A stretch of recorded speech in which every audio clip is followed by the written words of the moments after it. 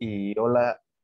eh, muy buenas tardes a, todos. Eh, algunos ya por ahí nos hemos conocido, incluso algunos otros por ahí veo que, hasta alumnos de en algún momento han, sido míos en, en, la universidad, así que este, saludos a todos por ahí, Alejandro. Eh, pues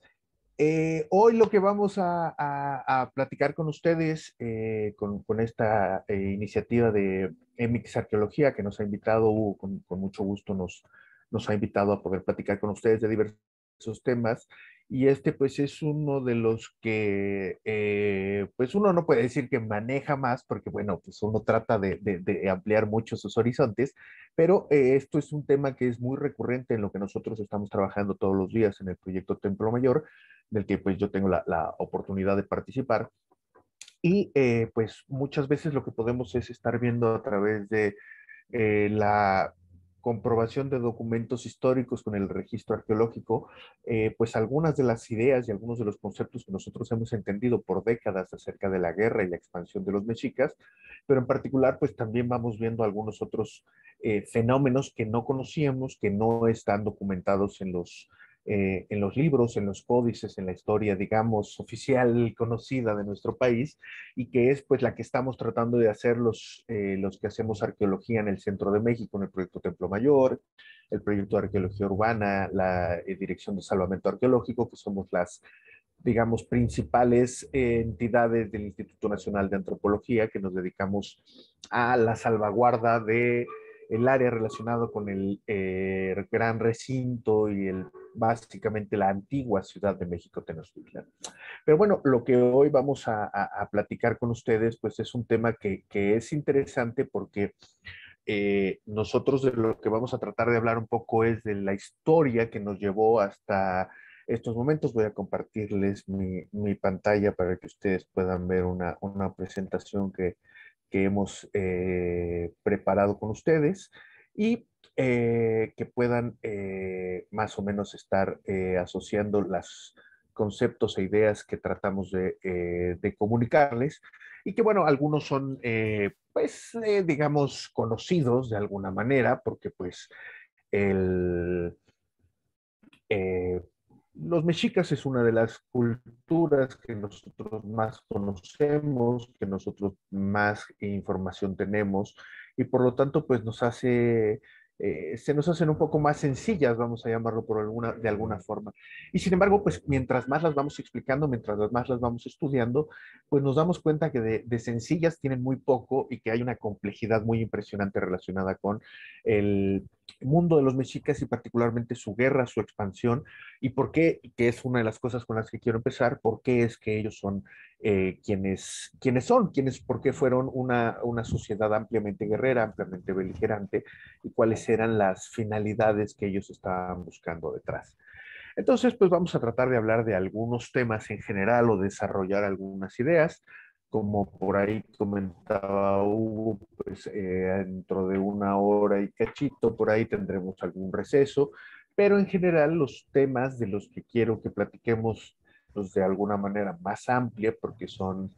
pues tienen más carnita, tienen más, eh, tienen más información que nos puede ayudar, eh, serán el día de hoy, pues,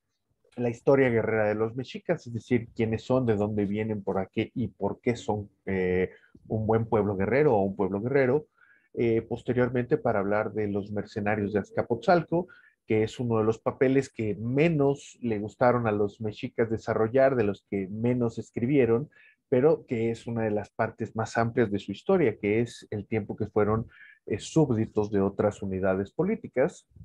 para después hablar de la Triple Alianza, particularmente, pues la unión de varias entidades políticas para cambiar el orden de las cosas y entonces generar y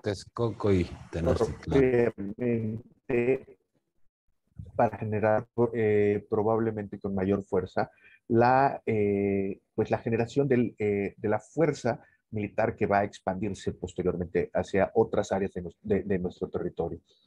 Eh, uno de los temas que más adelante hablaremos será propiamente el crecimiento del imperio mexica, es decir, más o menos cuáles fueron las formas que siguieron y cuáles fueron las áreas que fueron conquistando poco a poco los mexicas y por qué es que eran importantes. Y finalmente, eh, un tema del que yo particularmente, perdón, del que yo particularmente eh, hablo y, tengo pues un poco más de experiencia está relacionado con la economía detrás de la expansión, porque eh, obviamente pues porque como les comentaba Hugo, pues yo me encargo de hacer exploraciones en el Templo Mayor a partir del, como parte del proyecto Templo Mayor y pues lo que nosotros vamos encontrando son mm, en general lo que encontramos son eh, ofrendas que están dejadas y depositadas a los pies del templo mayor, pero que contienen una buena cantidad de objetos que claramente pueden estar identificados y asociados con la expansión militar del imperio. Entonces, pues más o menos esta será la historia que, que trataremos de contarles hoy en estas, eh, en estas cerca de tres horas que estaremos platicando eh, a partir de este momento.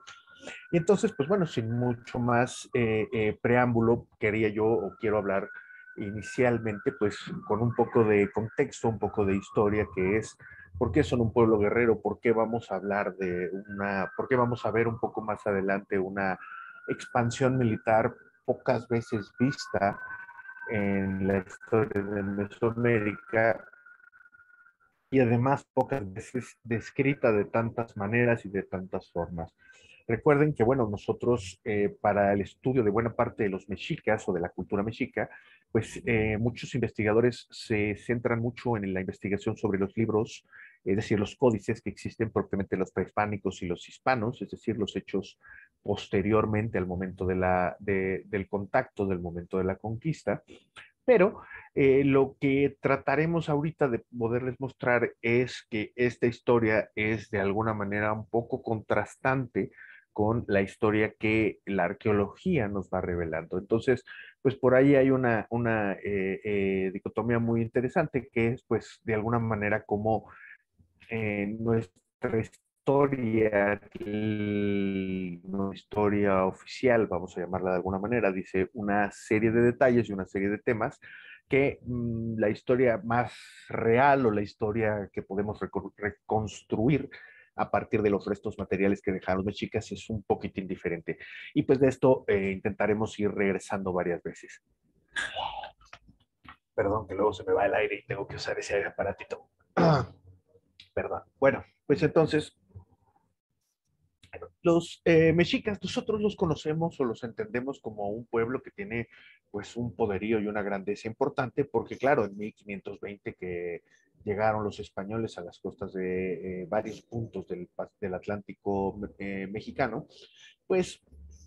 empezamos a ver una... Eh, en ese momento se retrató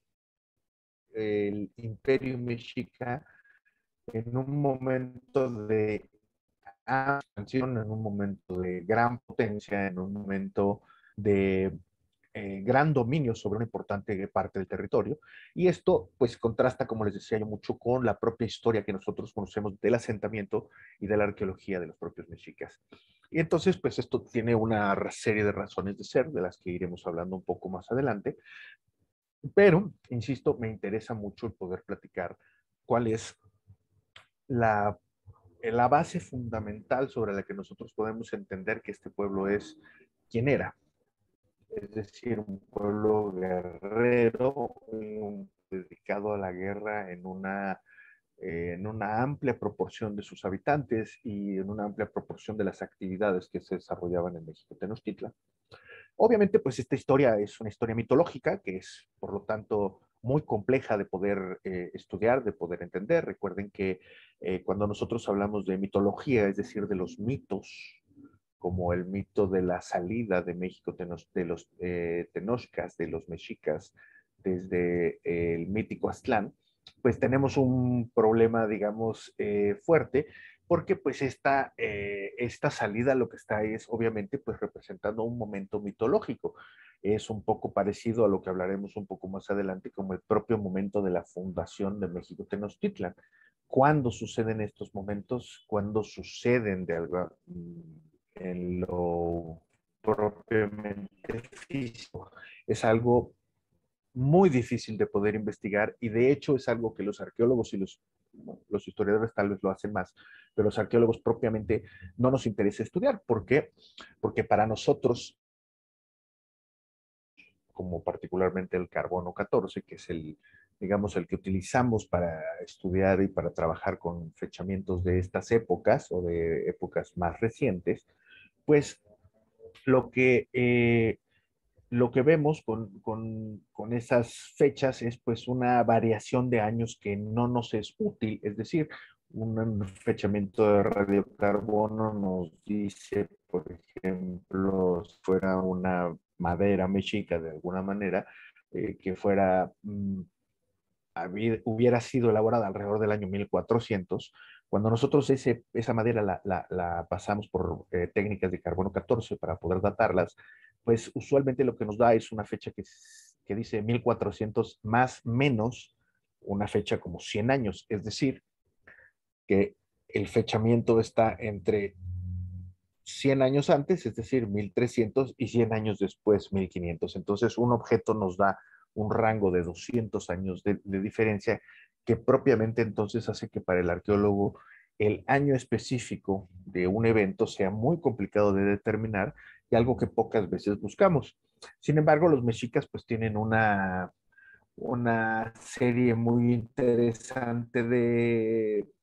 de costumbres y una de ellas está aquí representada en el, la tira de la peregrinación, en digamos el, mítico viaje desde Aztlán, y es pues la salida de los mexicas el día en el año 1, que es el año 1 pedernal, y cómo es que ellos dieron inicio a una mítica migración a partir de un momento específico.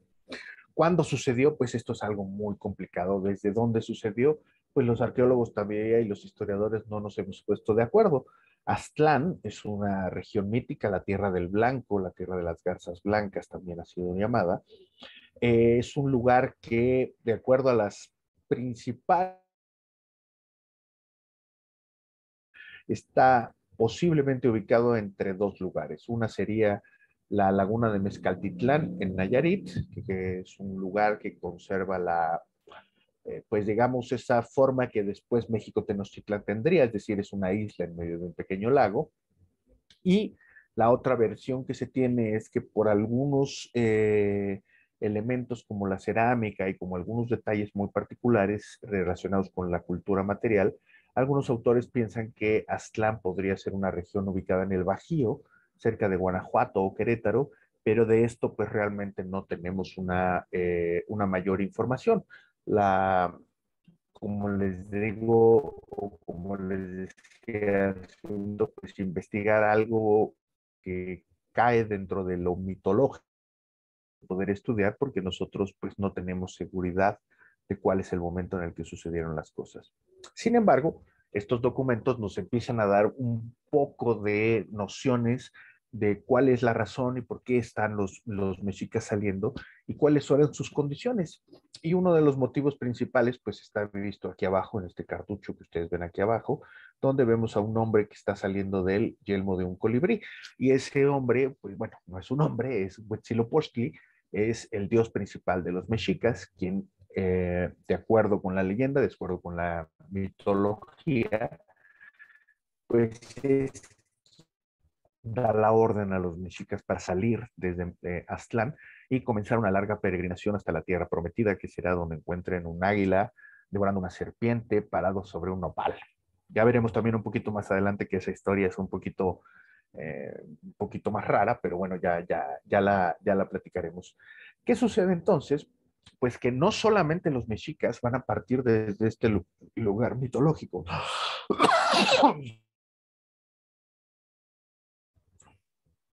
no solamente los mexicas van a salir desde, este, desde estos lugares mitológicos, sino prácticamente todos los grupos que habitaban el centro de México hacia el siglo XIII o el siglo XIV, es decir, antes de la llegada de los mexicas, pues todos en apariencia provienen de más o menos las mismas regiones, es decir, del el norte. Todos estos grupos, por ejemplo, tlahuicas, chichimecas, malinalcas, cuitlahuacas, chimilcas, chalcas,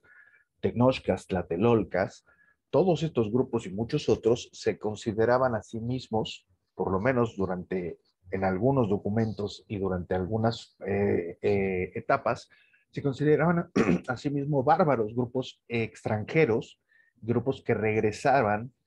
después de estar mucho tiempo fuera de la cuenca de México, regresaban a ella. Por eso la mitología es el eterno regreso, la visión es el eterno regreso, porque ellos estaban tratando o pensaban que provenían del sur de México, habían ido a estas míticas tierras norteñas como Aztlán y de ahí estaban regresando hacia el centro de México.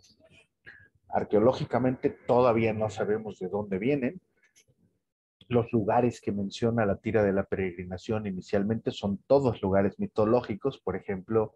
el más común y el más famoso que se menciona es Chicomostoc, que pues eh, mucha gente dice que es el sitio arqueológico de la quemada, pero realmente en Zacatecas, pero realmente no tenemos una, eh, una información específica que nos indique dónde se encuentra este lugar donde todas estas tribus se volvieron a reunir en el camino de la peregrinación y desde este lugar Chicomostoc bajarían hacia el eh, centro de México y comenzarían un largo proceso de eh, control, dominio y habitación del, del lago de México, de la cuenca de México, durante dos o tres siglos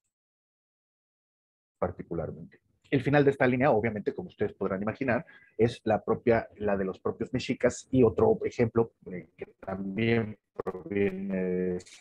de incluso ellos mismos lo dicen, por ejemplo, serían los tlaxcaltecas. Entonces, esto es una idea muy interesante porque entonces eh, los propios grupos norteños, perdón, los grupos, propios grupos como el Mexica se están identificando a sí mismos como norteños. Muchas de las imágenes y muchas de las formas en las que ellos se representan originalmente, usan ellos, por ejemplo, alguna serie de armas que no son propias del centro de México, eh, considerados usualmente no en todos los casos, pero usualmente con chimecas del en muchas de sus imágenes, flechas y, y, pues la, acción para muchos simplemente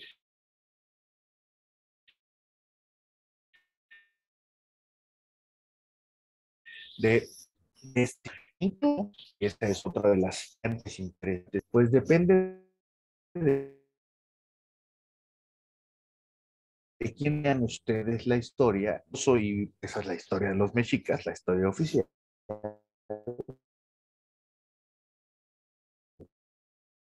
Pero si uno lee otros,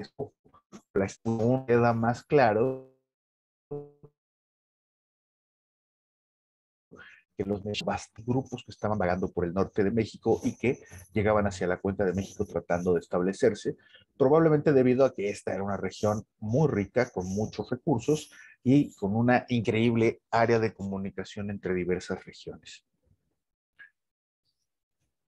Como les decía, entonces, lo que vamos entonces a empezar a notar, lo que vamos a empezar a, identificar claramente desde el principio, incluso desde el momento de su propia migración, es que los mexicas están representando a sí mismos y los demás grupos los representan como un grupo guerrero o un grupo violento,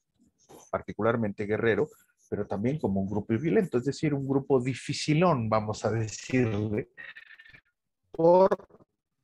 muchos motivos, por ser probablemente altamente religiosos, es decir, considerar su fe una de las fees más interesantes o más importantes, y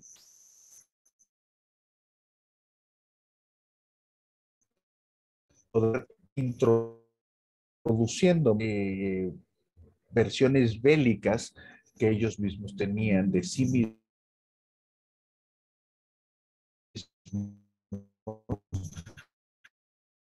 hacia el hacia, obviamente cuando ellos van llegando hacia el centro de México otros el, el grupo mexica es pues fundamentalmente guerrero es por su propia deidad principal, Huitzilopochtli, es un personaje y es la deidad del sol y la deidad de la guerra al mismo tiempo. Y por lo tanto, pues aquí ya nos está dando una, una, una de las principales eh, claves a esta historia. Huitzilopochtli, al ser el dios que comanda las órdenes del grupo de los mexicas, pues entonces usualmente da órdenes que están relacionadas con sus propiedades, que son, insisto, particularmente la guerra. Lógico de Huitzilopochtli es justamente pues para desarrollar guerra o batalla, pelear con sus hermanos, matar a Coyolxauhqui, matar al resto de sus hermanos, a los 400 hermanos, y que él, pues bueno, este ya es un códice, es el Durán, que es este, pues más hispanizado, pero obviamente lo que él trae en la mano es un arma mitológica que se llama el Ashiucoatl o la serpiente de fuego, y ese es el arma particularmente es decir, él, siempre trae en la mano un arma, es decir, por lo tanto, pues tiene un carácter guerrero al 100%. Muchas otras deidades las vemos en otras posiciones utilizando algunos otros elementos eh, eh, que están relacionados con eh, el agua o con la fertilidad o con algunas otras fuerzas. Sin embargo, Huitzilopochtli, las pocas veces que lo vemos representado, está siempre ataviado como un guerrero y eso es muy interesante entonces para nuestra charla, para nuestra plática, porque entonces podemos entender que son un grupo preparado para la guerra y además, por supuesto, su deidad principal es un guerrero. Y recuerden que los gobernantes usualmente lo que buscaban era conservar buena parte de las propiedades de los dioses principales. Por lo tanto, el Huitlatuani o el, o el Tlatuani los antiguos, es decir, los primeros gobernantes de los mexicas, pues todos prácticamente eran personajes relacionados con la guerra. Entonces, esto no era necesariamente el común denominador de todos los pueblos que existían en la cuenca de México. Por lo tanto, los mexicas comenzaron a desarrollar una ventaja dentro de la región, que era, ellos son personajes especializados en la guerra, son un grupo formalmente especializado para la batalla, para la guerra, para desarrollar actividades del tipo que ya platicaremos un poco más adelante, de lo que nosotros entenderíamos como mercenarios, es decir, de grupos que se rentan para desarrollar la guerra por de otros grupos. Esto es algo que todavía sucede en muchas sociedades eh, del mundo, entonces pues no, no necesariamente es algo que nos debería llamar la atención como, como algo extraño. Sin embargo, si uno lee la historia propiamente mexica, pues por ningún lado dice que ellos sean mercenarios o grupo secundario de nadie, sino que siempre hablan de que ellos desde su llegada al centro de México han sido un grupo dominante y un grupo fuerte. Insisto, la historia y sobre todo las crónicas de las otras regiones, pues nos indican y nos muestran que esto es diferente y la arqueología también, porque como platicaremos más adelante, pues el templo mayor eh, está construido de una manera que está representada como las muñecas rusas, que está una dentro de la otra, y las primeras relativamente pequeño o muy pequeño, y conforme fue avanzando el tiempo y comenzaron, la, comenzaron a consolidar su poder en la región, pues se nota un expendio de gastos muchísimo más potente, muchísimo más fuerte y un evidente cambio en la forma en la que se estaba desarrollando la política, la, religión y la economía.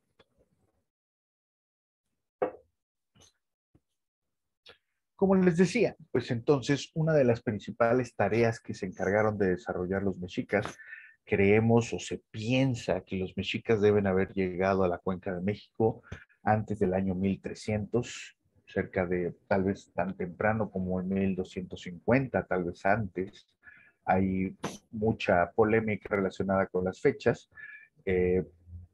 pero eh, lo que sucedía en el momento en el que ellos llegaron al centro de México, lo que estaba sucediendo, y esto es algo que nunca podemos dejar de lado cuando hablamos de un grupo, pues no, es, no estamos hablando de grupos aislados en el, en el mundo,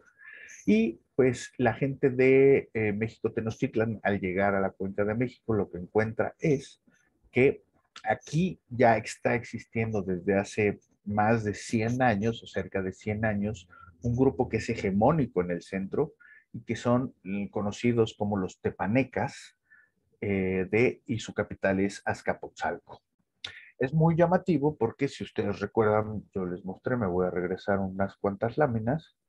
eh, pero eh, los tepanecas están por ahí, no sé si se alcance a ver todavía. Sí, hasta arriba se ve, se ve la, eh, la tribu tepaneca, que también es considerada una de las muchas tribus migrantes desde México, desde Aztlán y otras regiones del norte de México hacia el centro. ¿Qué sucede? Pues que entonces los tepanecas llegaron un siglo eh, antes aproximadamente. Arqueólogo, perdón, ¿puedo interrumpir? Perdón, ¿puedo interrumpir un poco?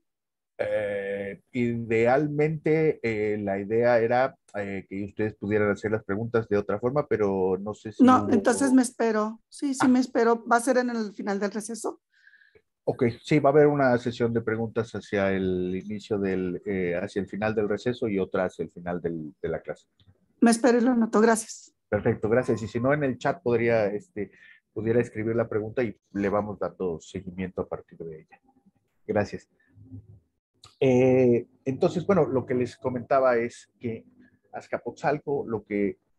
controla es buena parte del centro, es decir, la parte cercana al lago de México, y algunas áreas muy eh,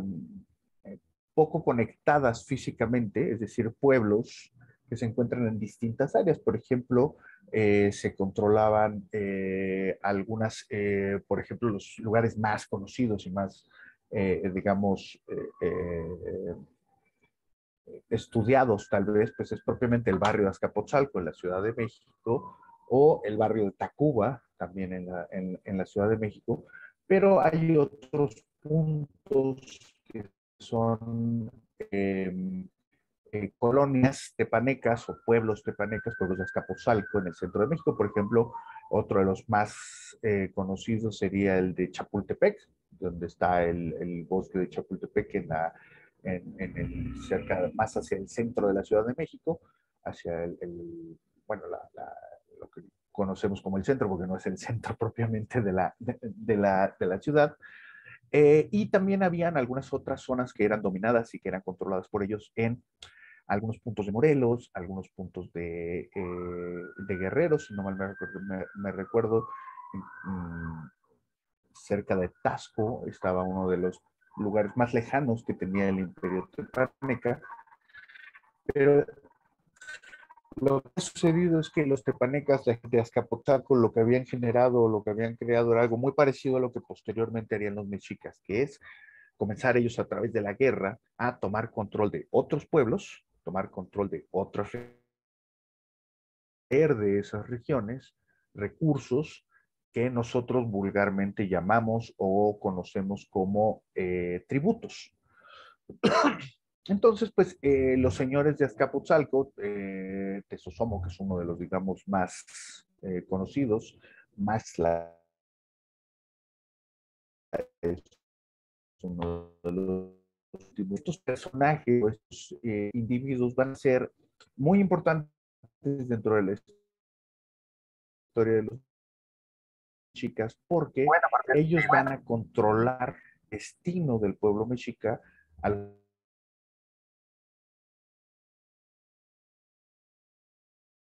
a lo largo del tiempo. Por ejemplo, las propias guerras de expansión que tenían los tepanecas. ¿Cuál era el, problema que tenían los mexicas y por qué los mexicas no competían en este momento o en estos primeros momentos con los tepanecas? Porque de lo que carecían los mexicas era de una ciudad o de un asentamiento permanente. Los mexicas, desde que salieron desde eh, Chicomostoc, ya dejen ustedes desde Aztlán, sino desde Chicomostoc, hasta el asentamiento final de México Tenochtitlan, de acuerdo a las crónicas que ustedes lean, pues podrían estar encontrando que estuvieron aproximadamente en unos 20 o 25 lugares diferentes a lo largo de los años. En algunos vivieron más tiempo, en algunos vivieron menos tiempo, pero todos estos lugares donde ellos llegaban o donde ellos intentaban integrarse, pues tenían o ya estaban de alguna manera controlados por diferentes unidades, como por ejemplo los tepanecas o los ochimilcas o los chalcas, que tenían una muy fuerte control de la parte sur del, lago de México. Lo que entonces buscaban los tepanecas, pues era conquistar a todos estos vecinos, conquistar a todos estos, eh, pues todos estos pueblos también eran fronterizos porque estaban dentro del lago de México y poco a poco entonces lo que ellos o el método que lograron eh, eh, consolidar los tepanecas fue propiamente el de eh, conquista y tributo. Y para realizar la conquista, por ejemplo, de lugares muy complejos como, les decía yo, como Xochimilco o como Chalco, tenían que recurrir a el uso de mercenarios, es decir, de otros grupos que prestaran armas, que prestaran hombres, obviamente, para poder desarrollar la guerra contra algunos otros de estos grupos. Y entonces, pues aquí es donde los mexicas van a encontrar su propia, eh, vamos a decir, su mero mole, que es, pues ellos son guerreros y lo que sucede fundamentalmente en el centro de México es que están llegando ellos en un momento donde todos contra todos están tratando de hacer crecer sus unidades políticas. Los mexicas pues buscaron aliarse con varios grupos, con todos salían peleados, era un grupo que sale peleado con prácticamente todos los grupos, eh, hasta que finalmente los tepanecas los eh, hacen algunas eh, relaciones de tipo matrimonial con los mexicas y entonces pues pueden ellos empezar a considerarlos para algunas tareas como por ejemplo la de la guerra. ¿Cuál es la ventaja? Pues que obviamente participar en la guerra y ganar, pues eh, significa en el mundo posclásico mesoamericano, significaba recompensas. Y estas recompensas, pues inicialmente eran muy modestas, como trajes de guerreros o algunas otras eh, armas o comida, pero posteriormente, de acuerdo, como decimos vulgarmente, de acuerdo al sapo, la pedrada, pues de repente los regalos eran bastante más eh, digamos, generosos, como por ejemplo el momento en el que a ellos se les otorga la posibilidad de hacer su asentamiento permanente en Chapultepec, ¿no? En donde estaba, no, no en México Tenochtitlan, sino algunas décadas antes se les porción de tierra dentro de Chapultepec. Y eh, los mexicas pues comenzaron a hacer un asentamiento permanente, es decir, a construir su propia ciudad ahí. Sin embargo, pues salieron de pleito otra vez con los, eh, con los tepanecas y los tepanecas los corrieron de, de, Chapultepec. Y entonces, como les decía yo, fueron a dar a una enorme cantidad de, de lugares hasta que pues ellos encontraron una posibilidad real de ser utilizados de otra forma. Y entonces, como les decía yo, pues esto va a ser a través de la guerra los tepanecas tenían una fuerte necesidad de consolidar su poder, de que nadie más creciera como ellos estaban creciendo, y entonces pues empezó a utilizar métodos diferentes como el usar a los mexicas. Y los mexicas, como les decía yo, pues entonces utilizaron o aprovecharon el ambiente político, esto es lo que hoy en día llamamos el ambiente geopolítico, es decir, todos se quieren dar en la torre y ellos son muy buenos para darse en la torre. Entonces, ellos lo que van a buscar es acomodarse con el que mayor posibilidades veían de tener éxito, que en su momento, pues evidentemente eran los tepanecas. Lo divertido o lo padre o lo, interesante de esta historia, pues es que ellos ya traían desde el primer momento en el que se hicieron mercenarios de los tepanecas, ya tenían en la mira el que en algún momento les iban a dar en la torre. El tema era cuándo, cómo y en qué condiciones es lo que mejor podría suceder. Y entonces lo que va a suceder es que después de varias victorias importantes en el sur de México, en el sur de la cuenca de México, en el sur del lago, particularmente algunas victorias en, en Xochimilco, pues eh, el señor de Azcapotzalco se sentía generoso con los mexicas, con su ejército mexica propiamente, que daba muy buenos resultados, ganaba muchas batallas, los ayudaba muchísimo, entonces cada vez iban subiendo de mayor rango a los militares mexicas y estos militares mexicas pues empezaron a ver oportunidades por otros lados, por ejemplo, con mujeres de regiones que ellos conquistaban. Y este es el caso de lo que va a suceder eh, con eh, que es un punto muy, eh, muy interesante que se encuentra en la península de Iztapalapa, abajo del Cerro de la Estrella, Y este es un lugar que, eh, pues mitológicamente, todos los pueblos de, es decir, era un pueblo muy viejo, asentado ahí desde hacía muchos, muchos siglos,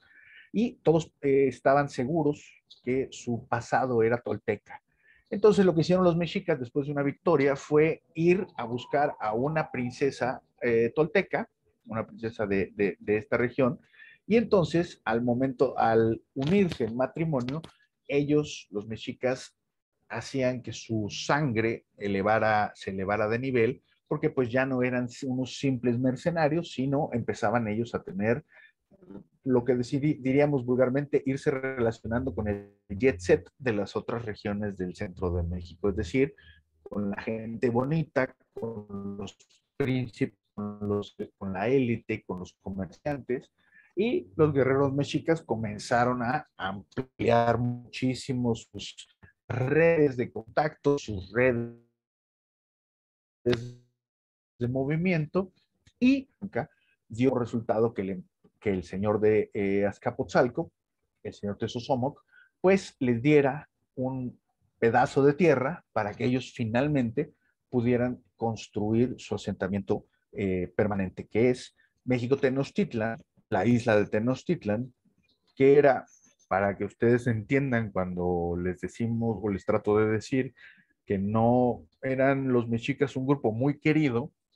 pues el peor lugar dentro de la cuenca de México es la isla de México Tenochtitlan, porque tiene varios problemas. Uno, está rodeado de agua, por lo tanto, tiene un problema de salubridad y por estar rodeado de agua hace mucho más calor.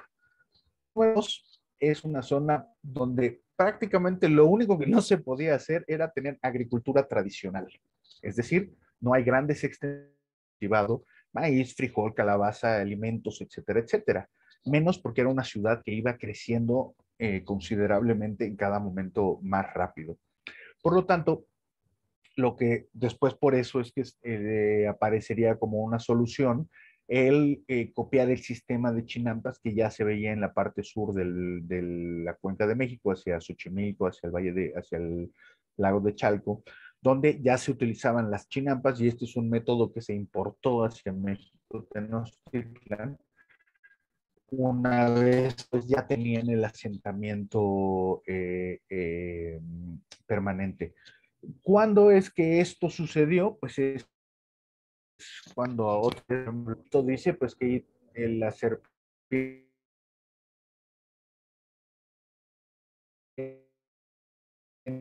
este, eh, que el águila está con una nuevamente era el, el,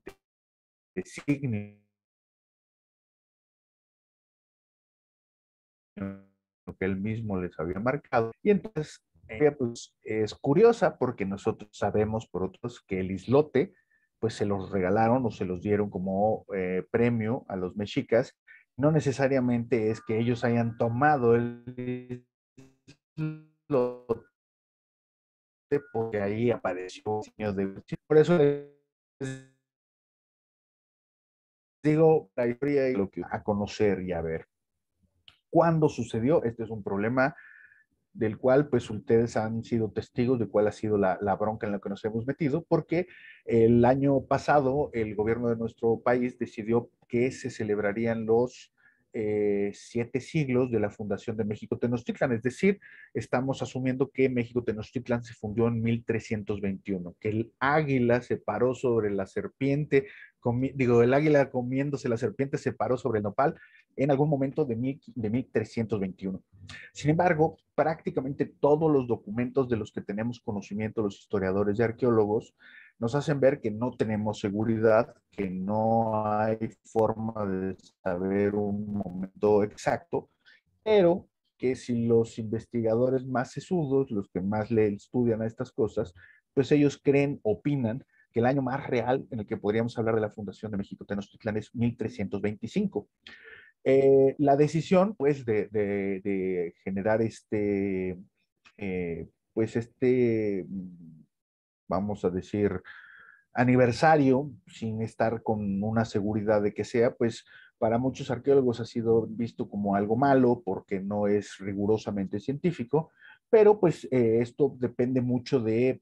cuál es la, otra vez, en este caso, el momento geopolítico moderno, cuáles son los intereses, y pues, eh, si bien yo creo que muchos arqueólogos no les ha gustado la idea de que esto se, se celebre el año pasado, en mi punto de vista, pues tampoco le, le hizo, eh, le hace absolutamente ningún mal a, a, a, nuestra disciplina, porque por lo pronto, por lo menos hemos podido tener una gran discusión relacionada con el momento de la fundación de México Tenochtitlan. No nos ponemos de acuerdo, pero esto nos ha invitado mucho a tener pláticas, a tener discusiones, y obviamente, pues dependiendo de, desafortunadamente, mucha gente hoy en día hace sus aseveraciones académicas basadas en pensamiento político y esto pues es algo que no necesariamente es eh, ni útil, creo yo. Digo, todos tenemos una posición política, pero eh, como les digo, pues eh, yo soy arqueólogo, me dedico a esto, estoy en el Templo Mayor, se supone que escavo a pocos metros donde el águila se paró sobre el nopal, y a mí pues realmente no me importa mucho si el año fue 1321 o 1325, porque digo, desde el punto de vista estricto, es un evento mitológico. Nosotros no podemos tener seguridad exacta de cuándo es que sucedió y por lo tanto, si fue ayer, fue antier, fue hace un año, va a ser dentro de un año, no es relevante. Creo que lo relevante es que tenemos que hablar de que nuestra ciudad sí tiene cerca de siete siglos de haberse fundado y que eso es algo que es muy interesante de poder investigar. Pero bueno, no entremos en mucha polémica al respecto. Simplemente eh, tratemos entonces de, regresar a este, a este momento, que es que los tepanecas han regalado un terreno, un espacio de tierra poco agradable, poco ameno para los mexicas, pero los mexicas, un pueblo guerrero, un pueblo que hasta este momento ha podido demostrar su potencia dentro de la cuenca de México y dentro de algunas otras regiones, pues nos enseña que esto eh, eh, pues que su motor, que, su, que, la forma en la que ellos se han desarrollado es la guerra y todas estas actividades hasta este punto, hasta 1321, 1325, les indican que ese es el camino correcto. Y eso es algo interesante, porque muchas eh, culturas las circunstancias hacen que ellos modifiquen sus propias historias, modifiquen sus leyendas o sus mitos de origen. En este caso, ellos se esforzaron mucho en poder cumplir con sus objetivos y una vez que ellos tuvieron flote y que entonces pudieron construir su propia ciudad, pudieron entonces también ellos entrar en otro circuito que tiene que ver con poder, gobierno, élites, contactos con otras élites, conquistas propias, etcétera, etcétera. Es decir, al ya tener su propio asentamiento, ellos están capacitados también para poder hacer la guerra directamente ellos y no necesariamente tener que hacerla detrás de algún otro grupo. Como hablaré un poquito más adelante, las causas de la guerra, a pesar de que nosotros hoy en día estamos acostumbrados a que la guerra es una, eh, un poco una obra sin razón, un caos, eh, los mexicas y muchos grupos mesoamericanos y muchas otras culturas del mundo nos van a mostrar que el papel de la guerra es muy importante, pero sobre todo la forma en la que se hace la guerra. No, no se puede simplemente ir, invadir y golpear a algún grupo, aunque, es decir, por lo menos en lo legal, ya veremos al ratito cómo los mexicas resolvían parte de estos problemas de maneras muy mañosas, pero eh, vamos a decir lo que existe o lo que sí existió y en todas partes del mundo es una diplomacia relacionada con la guerra. Solo por ponerles un ejemplo del que regresaré un poquito más adelante, los mexicas, por ejemplo, cuando se iban a lanzar sobre algún grupo guerrero o sobre algún otro grupo que pues a ellos les era apetecible económicamente, eh, pues iban y mandaban un emisario que les decía eh, va a haber guerra y los, los principales del pueblo al que hayan ido los mexicas tenían dos opciones, contestar que sí, contestar que no. Pero si ellos decían que no, porque ponían algún pretexto, por ejemplo, no tenemos armas, los mexicas lo que empezaron a hacer fue mandar sus emisarios de guerra con muchísimas armas para que no tuvieran el pretexto los demás grupos para no pelear. Es decir, todo, todo, todo lo que vamos a hablar a partir de este momento en adelante para los mexicas está fuertemente fundamentado en la guerra, en la expansión y en un proyecto que es algo muy interesante porque solamente lo vemos cuando nacen los imperios. Cuando me refiero a un proyecto, me refiero a cosas como la conquista de otras unidades políticas. Si ustedes piensan, por ejemplo, nunca hemos visto, por ejemplo, para la cultura teotihuacana, no hablamos de sus conquistas en otras regiones, usualmente hablamos de los contactos que tienen con otras regiones, incluso hablamos por ahí de, algún, con, con MX arqueología. Pero bueno, lo que tratamos entonces de, de hacerles notar es que a partir de este momento, el, el tema de la guerra para los mexicas sigue siendo igual de importante, pero es ahora fundacionalmente importante porque puede justificar un crecimiento muchísimo más rápido, muchísimo más veloz y justamente algo que, los propios tepanecas después no verían, eh, no verían venir, que es, que es muy interesante, la idea de que los mexicas pudieran conquistarlos. Esto que ustedes ven aquí, pues es básicamente un mapa de cómo se vería o cómo se hubiera visto contrastado con la Ciudad de México el islote de México Tenochtitlan. Y como les decía yo, pues esta es una región muy, muy, muy pobre en muchos recursos, como no tiene piedra, fundamental para la construcción, no tenía campo agrícola, es decir, sí podía sembrarse cosas, pero no es, no es un lugar, por ejemplo, del lado, eh, del lado este del lago se encuentran las playas de Texcoco y esos serán eh, vergeles increíbles donde podían crecer buena, buena parte de la, de la producción alimenticia de, de, de, toda la región de Texcoco. Sin embargo, aquí estamos viendo que el grupo estaba muy, muy, muy restringido por el propio espacio y que el crecimiento de la ciudad comenzó a ser muy rápido, es decir, empezó a multiplicarse la población y mientras más población, como ustedes pueden ver en una isla, pues lo que va desapareciendo es el campo libre, la tierra libre, como para hacer otro tipo de construcciones o como para hacer otro tipo de eh, obras de infraestructura que podrían haber sido necesarias para la isla. Como les digo, lo que va a suceder o lo que sucedió fue que se llevaron de premio el islote de México Tenochtitlan, que les recordaba o les llamaba fuertemente hacia su mito de origen, es decir, el retorno a Aztlán, el retorno a, la tierra de salida de su, de su peregrinación, pero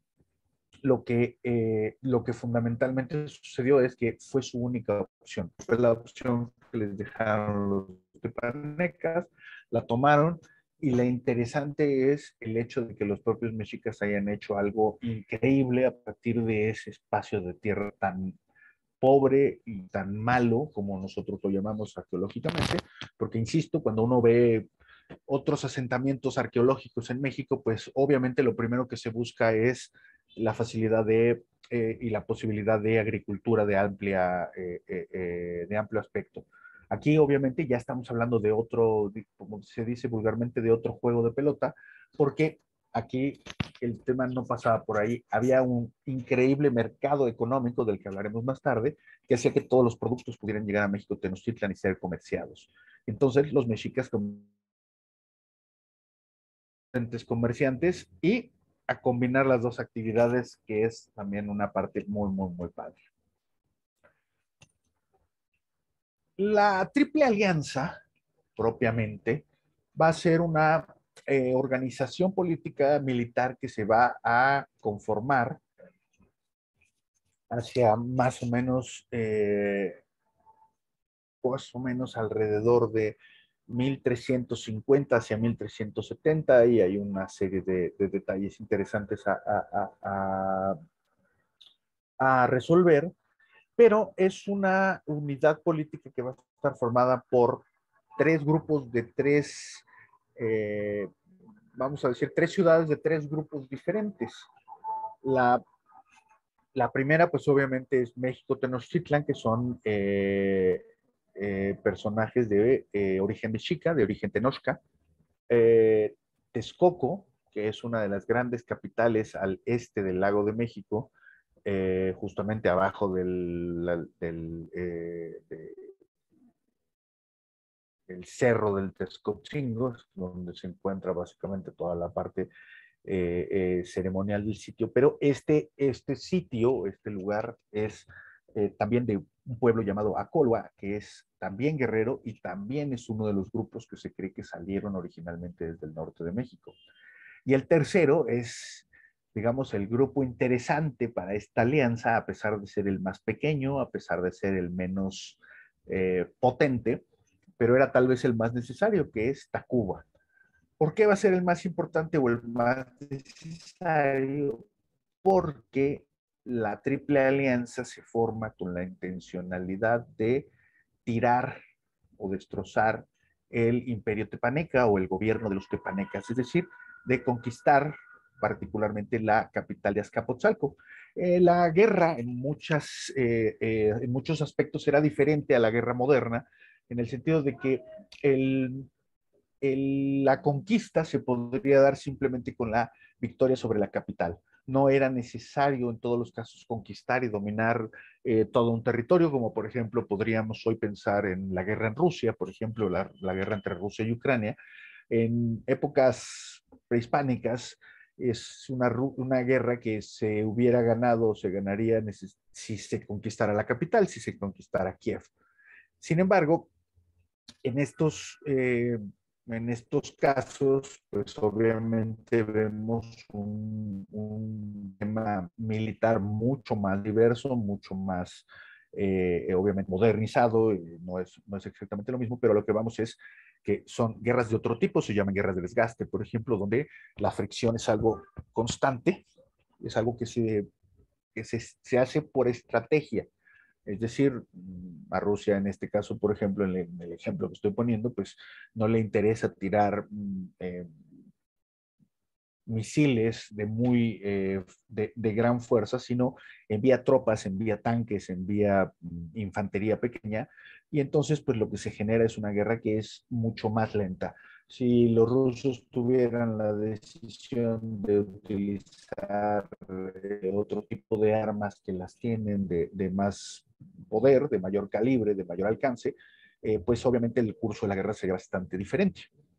Esto es un poco lo que el, ejemplo es, digamos, o la analogía, la volvemos a regresar hacia nuestro tema, y lo que ellos estaban buscando, o lo que la Triple Alianza buscaba era dominar la capital de Azcapotzalco, porque con el dominio sobre esa capital, el resto de los lugares caería solo. ¿Por qué? Porque en este caso, los, eh, los grupos que existían en el centro de México tenían muy pocos niveles hacia abajo en lo que nosotros llamamos jerarquías de sitios. Es decir, hay un sitio muy importante, por ejemplo, Azcapotzalco, o para los eh, Acoloas Texcoco, o para los Tenochcas, México Tenochtitlan, y de, eh, de estos sitios, de estos eh, estos lugares es que sale la, impresión hacia, hacia, las, hacia las conquistas. Lo que trata de, explicarles es que para poder realizar la conquista de Azcapotzalco se necesitaban dos cosas particularmente. Una, ejército, y el ejército mexica no era suficiente, los tepanecas eran un grupo bastante más grande, pero entonces viene la necesidad de generar una alianza. Y los aliados naturales en este caso fueron la gente de Texcoco, que era una unidad similar en ese momento a México Tenochtitlan, es decir, potente, pero de segundo orden. Y como les decía yo, el tercer elemento dentro de la opción es tal vez el más importante. ¿Por qué? porque para poder hablar y para poder tener la visión importante, la derrota fundamental de los tepanecas, iba a ser necesario que los tepanecas tuvieran otro grupo tepaneca eh, que sustituyera al que, iba a, al que iba a ser conquistado. Es decir, no podían solamente tirar a Azcapotzalco y dejar sin cabeza el grupo de los tepanecas, sino que iban a necesitar a un grupo que tomara control sobre ellos. Y en este caso, pues el grupo que se puso a mano o el grupo que se puso en posibilidad de hacer esta actividad, pues fue el grupo de Tacuba. ¿Por qué? Porque Tacuba es un punto muy cercano y era un punto importante para los, para los tepanecas desde varios aspectos, particularmente el religioso, era un, centro religioso importante, pero justamente lo que querían los mexicas y lo que quería la gente de Texcoco era que una vez que tiraran a Azcapotzalco, poner como el principal grupo de los tepanecas a Tacuba y eliminar otra posible guerra de larga duración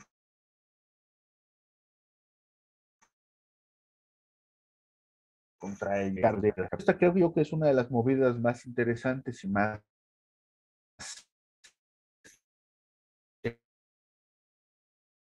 de escoger al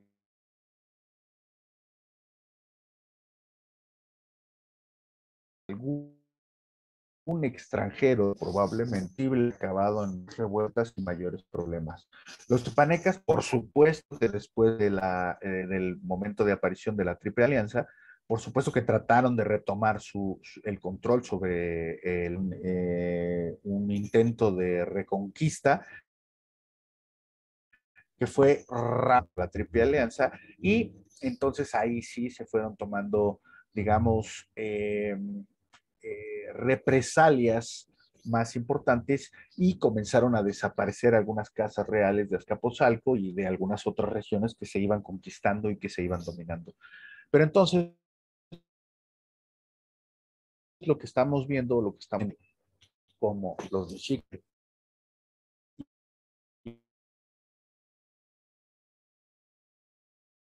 de utilizar eh, sus ejércitos, el crecimiento de su eh, potencial eh, eh, es que entonces pues van a poder eh, dar el golpe importante o el golpe necesario del centro de México.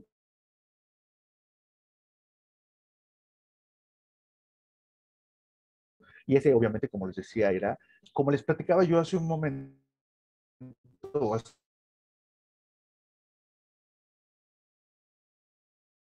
hace un, ratito, pues el tema no, visualmente muy difícil observar, donde ustedes ven el techo, es lo que nosotros llamamos la etapa 2 del templo mayor y corresponde con los tal vez los primeros momentos estaríamos hablando más o menos del año 1400, 1420,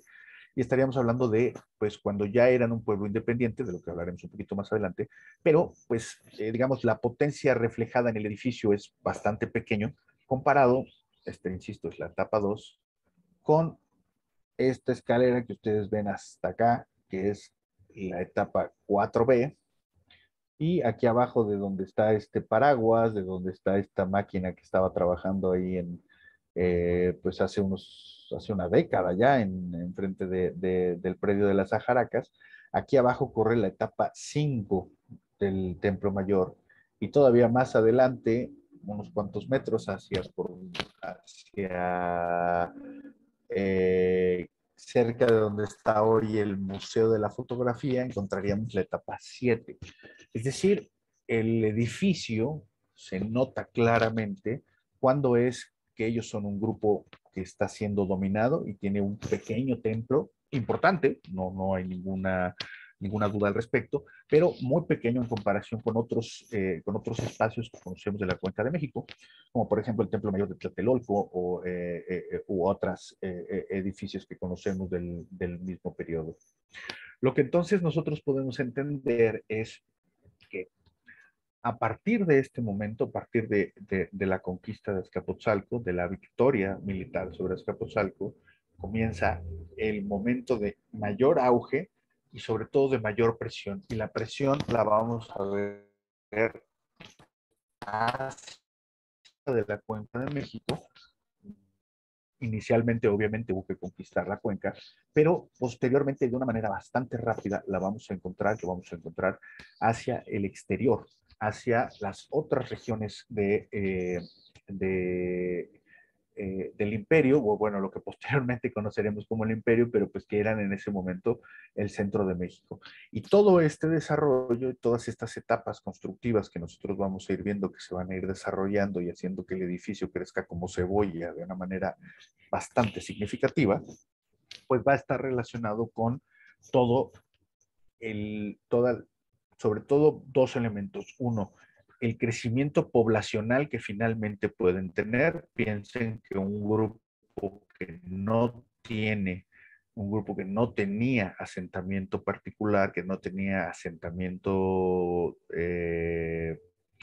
eh, permanente, como los mexicas, su tasa de natalidad era bastante baja comparada con otros grupos y esto pues obviamente es normal es, es notorio. Mientras la gente no tiene condiciones particularmente apropiadas para desarrollar su vida, es muy difícil que entonces sus propios hijos puedan ir creciendo, puedan irse desarrollando más adelante.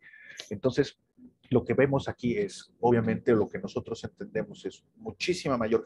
cantidad de gente trabajando, es decir, la población va creciendo, Recuerden que eh, tenemos un problema muy grande en el, en el en México Tenochtitlan, que es que encontramos pocos entierros, encontramos a veces ofrendas, encontramos algunas cosas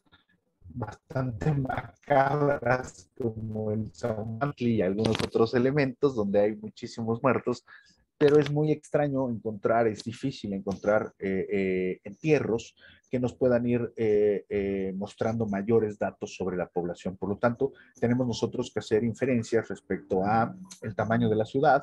y, por ejemplo, algunas otras obras como el gasto energético para hacer todo este tipo de arquitectura monumental, como puede ser el propio edificio del Templo Mayor, o si nos vamos a una escala un poco mayor, el, el edificio del Gran Recinto, ¿no? Que es un el, gran cuadrángulo, bueno, un rectángulo, porque no es cuadrángulo, que eh, daba vuelta alrededor del Templo Mayor y que más o menos tiene una, unas dimensiones de 400, 300 metros aproximadamente, que pues para los mexicas era el, el punto mitológico desde el cual ellos justificaron que ahí se había creado el universo, que ahí se había creado el mundo, y obviamente pues está todo, todo totalmente diseñado desde donde ellos mitológicamente habían establecido el nacimiento de,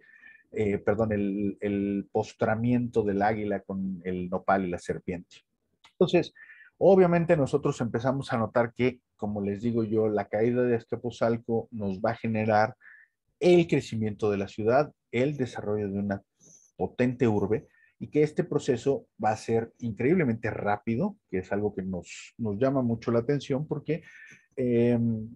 el fenómeno eh, mexica hasta la llegada de los, de los españoles y el momento del contacto con, con, con los españoles, pues básicamente estaríamos hablando de unos 90 años de expansión aproximadamente, desde más o menos 1425, una cosa por el estilo, que vino la independencia de los mexicas de los tepanecas, hasta 1520, que es el momento en el que eh, Cortés eh, eh, y su ejército acaba con el Tlatón y Moctezuma y se nos acaba la... se nos acaba, pues, todavía hubo dos tlatoanis más adelante, pero básicamente se nos acaba la, eh, la genealogía gobernante de México Tenochtitlan y los dos últimos gobernantes básicamente son eh, eh, residentes en cierto sentido porque pues no pueden ejercer sobre el, su grupo, no pueden ejercer sobre su unidad política y esto pues obviamente los, los mantiene muy, muy al margen. Como les digo, el crecimiento, es incomparado si lo, si lo llevamos hacia otros de sus socios, particularmente como vamos ahora de la Triple Alianza, el caso de Texcoco, yo aquí les, les muestro a un muy guapo eh, que está en, en, uno de los códices que se encuentra en, en Francia, el códice Azcatitlán, si no mal me, me acuerdo, eh, que fue el, pues uno de los grandes señores de, de, de Texcoco, y uno de los eh, posteriores, una vez que la independencia de México Tenochtitlan se dio, pues uno de los principales socios comerciales, militares, políticos de, los Tenochtitlan. Es decir, la Triple Alianza va a continuar posteriormente a la caída de Azcapotzalco, eh, va a continuar de una manera muy, pues muy poco clara, porque pues se supone que o ellos eh, tenían un arreglo como para poder conquistar otras regiones, pero conforme fue avanzando el tiempo, pues no todas las guerras las desarrollaban juntos eh, Tenochtitlan y Texcoco, y entonces, pues obviamente Tenochtitlan fue conquistando regiones donde el señor de Texcoco, pues no recibía directamente tributos, sino los recibía de una manera eh, simbólica, vamos a decir, puesto que se le mandaban como regalos y no necesariamente como una orden para poderles, eh, eh, una orden de, un porcentaje de los tributos o de los saqueos o de las ganancias que podían obtener los, los tenoscas. Texcoco, eh, si bien es, pues la triple alianza equipara, como yo les decía,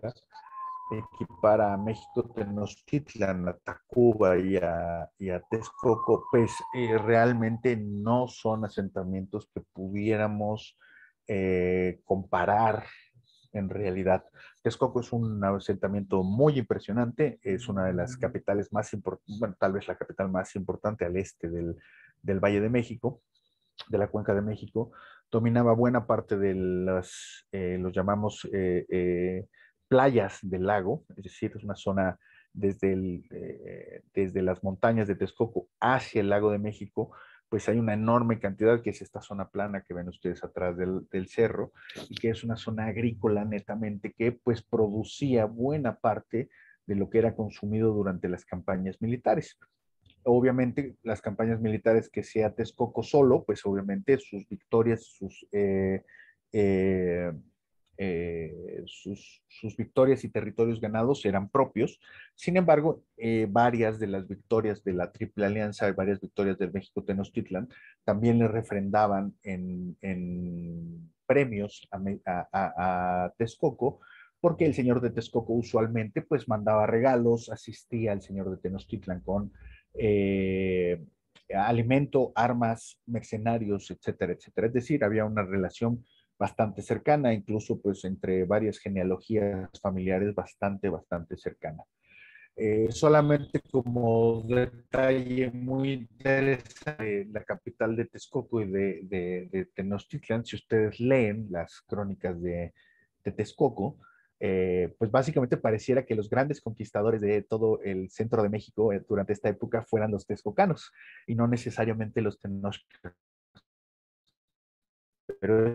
es un fenómeno que da dependiendo de quién vimos la historia. Usualmente ese es siempre el, detalle importante cuando uno, uno genera estas, eh, un escrito, una, una historia, pues esta trata de, de cumplir con ciertas necesidades y eh, la historia de Texcoco pues es interesante, incluso, por ejemplo, narra de manera muy eh, llamativa o muy, muy interesante, tal vez les pueda gustar la historia.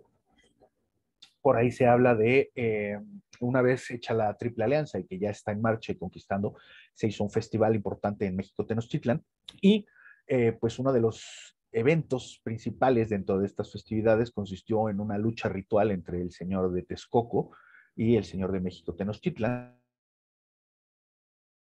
El señor eh, ya estaba, ya era gobernante en el Zahualcoyotl de Texcoco. Eh, todo parece indicar que le pegó una muy buena revolcada a, si no mal recuerdo, es eh, el primer Moctezuma, en referente a esta lucha ritual. Es una de las historias, es difícil pensar en la, en la, en la real posibilidad de que dos reyes, que dos emperadores, que dos grandes personajes se agarren a cartorrazos, pero bueno, pues este era parte también, nosotros sabemos y conocemos de, diferentes formas de eh,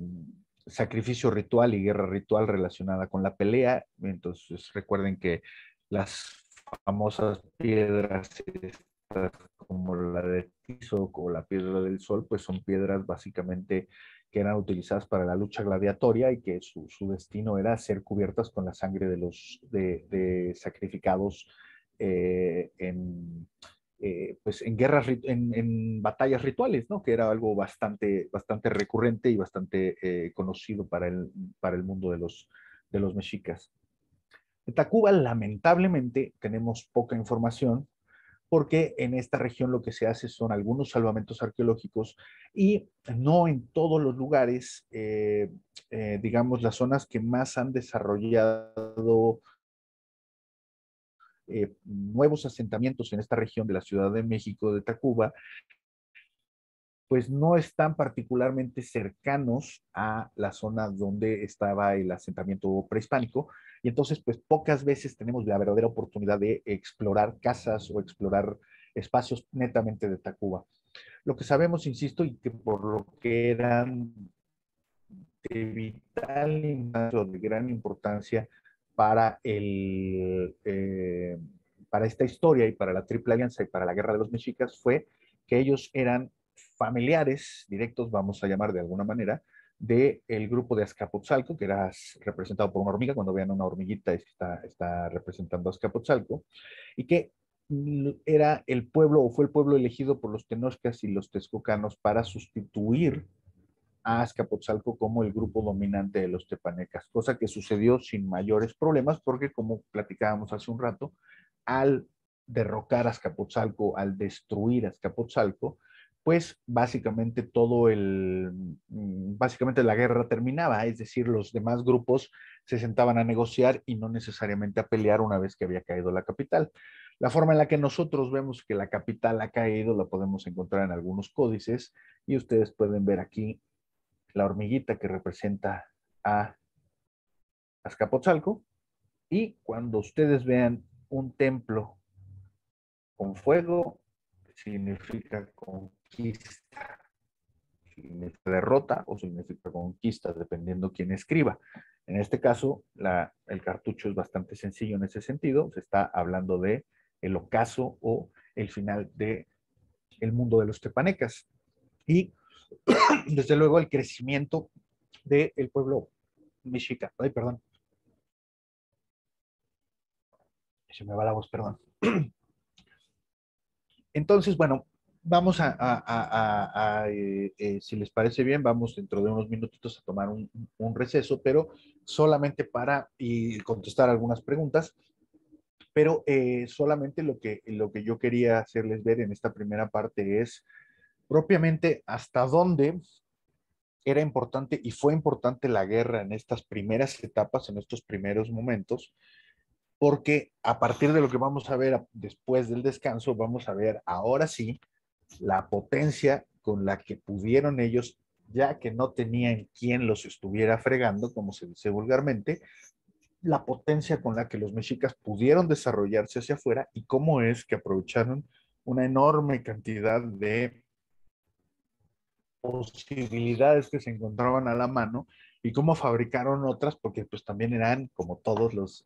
grandes grupos, eran bastante mañosos para, algunas cosas. Entonces, eh, pues bueno, eso ahora, eh, insisto, lo platicaremos un poco, un poco más adelante, pero pues si les parece bien y si a Hugo le, le parece apropiado, podríamos eh, eh, hacer un, pequeño break y si quieren, pues antes podríamos contestar eh, algunas preguntas por ahí que, hayan, que hayan surgido. Sí, claro. de hecho, ya había algunas. La primera que nos la había hecho Carolina nos decía, bueno, de las primeras diapositivas que presentaste, eh, cuando se ven los, los, grupos saliendo de Aztlán, eh, que, ¿qué elemento traen cargando los tepanecas? ¿Qué elemento traen cargando los tepanecas? Déjame ver porque no me acuerdo. Aquí estamos, tepaneca.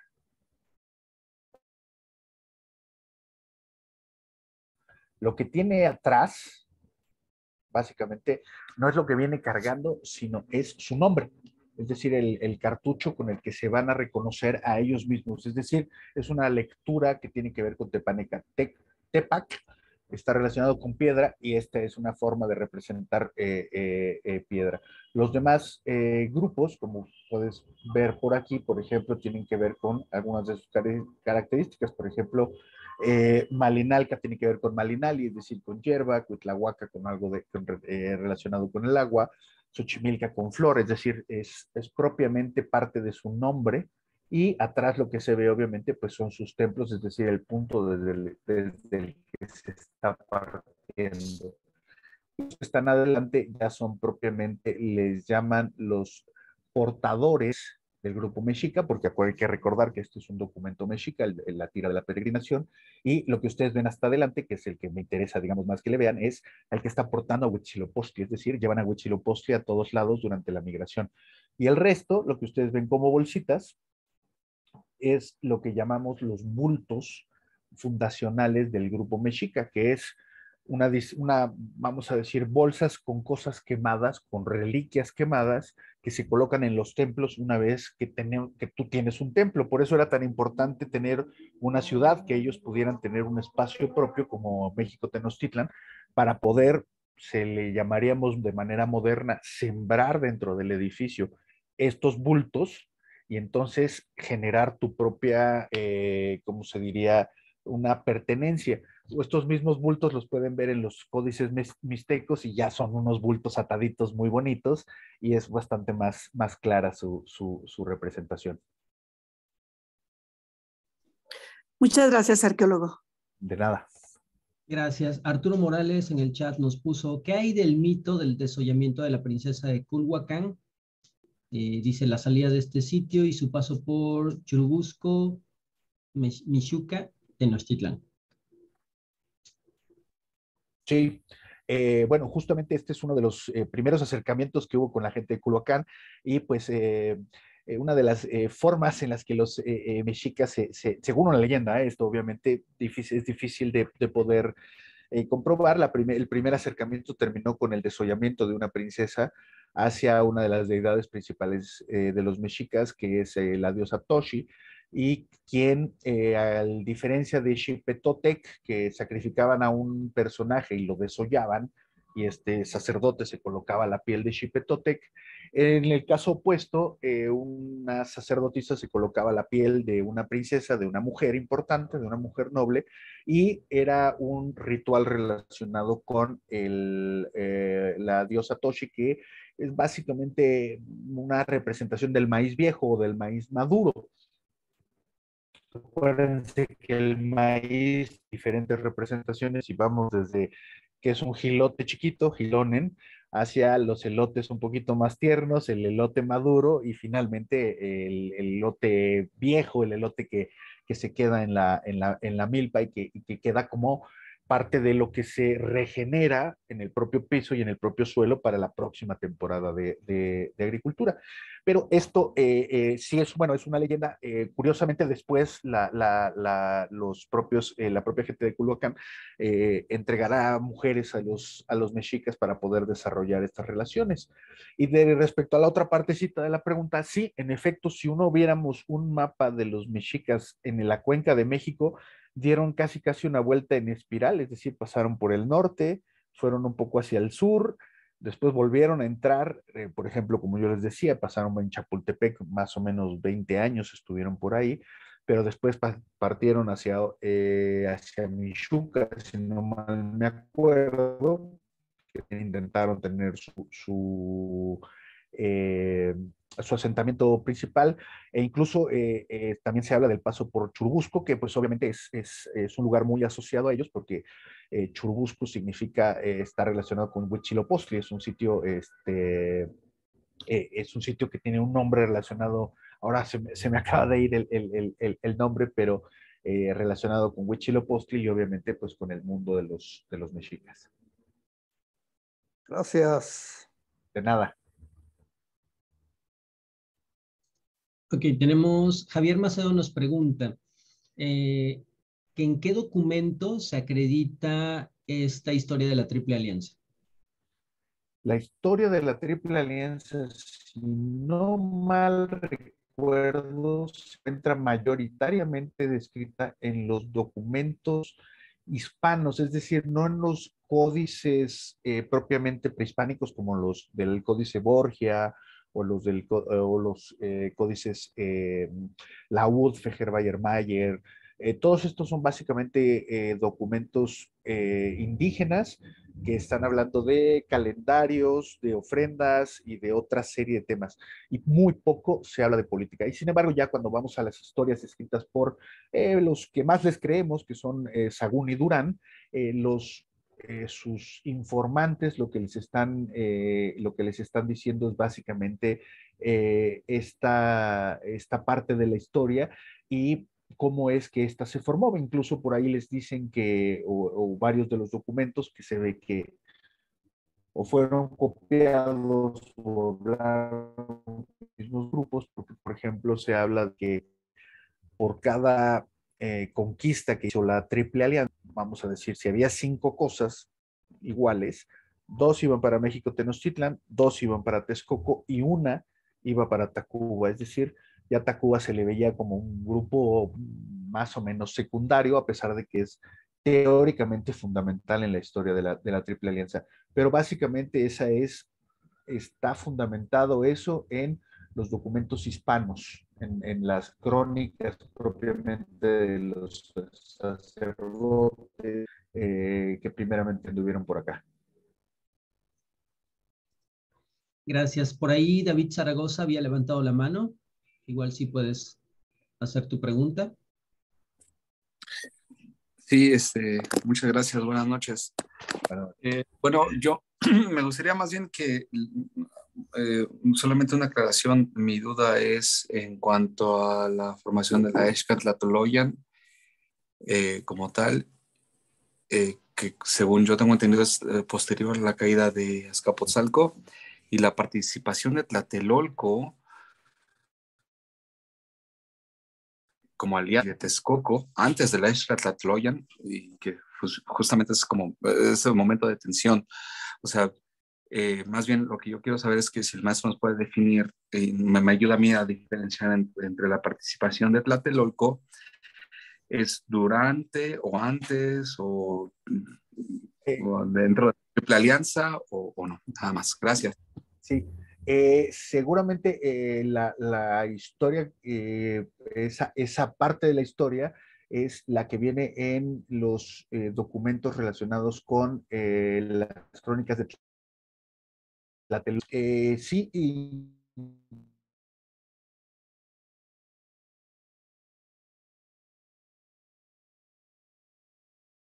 incluso ahí se menciona la, la documentos, propiamente hablan de eh, la separación de México Tlatelolco de México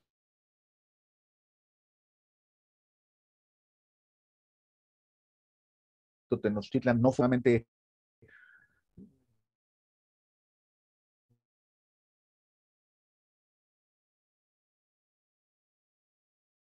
si la Ciudad de México se habían abandonado a los mexicas y se habían tomado eh, la parte norte del islote de México Tenochtitlan. Eh, la relación entre ellos nunca fue particularmente buena, pero eh, la, el elemento que cambiaba la balanza era que, a diferencia de todo lo que había en México Tenochtitlan, lo que sí tenía Telolco y hacía que todos los demás se vieran verdes de envidia era la presencia del mercado. Y esto va a generar que posteriormente eh, México Tenochtitlan, eh, ya una vez que, está en su periodo de expansión, eventualmente va a ir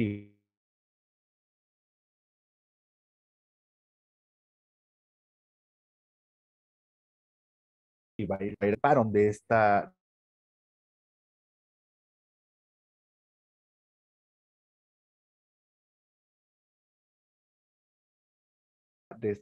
digamos más eh, eh, más certeros en cuanto a esta historia.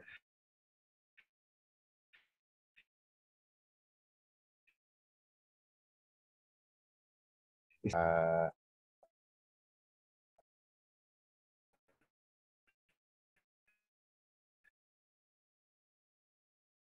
propio mercado. En México Tenochtitlan le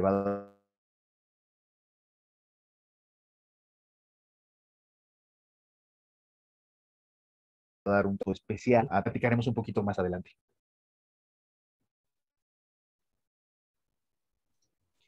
Muchas gracias. De nada. Pues igual damos espacio a una última pregunta si alguien tiene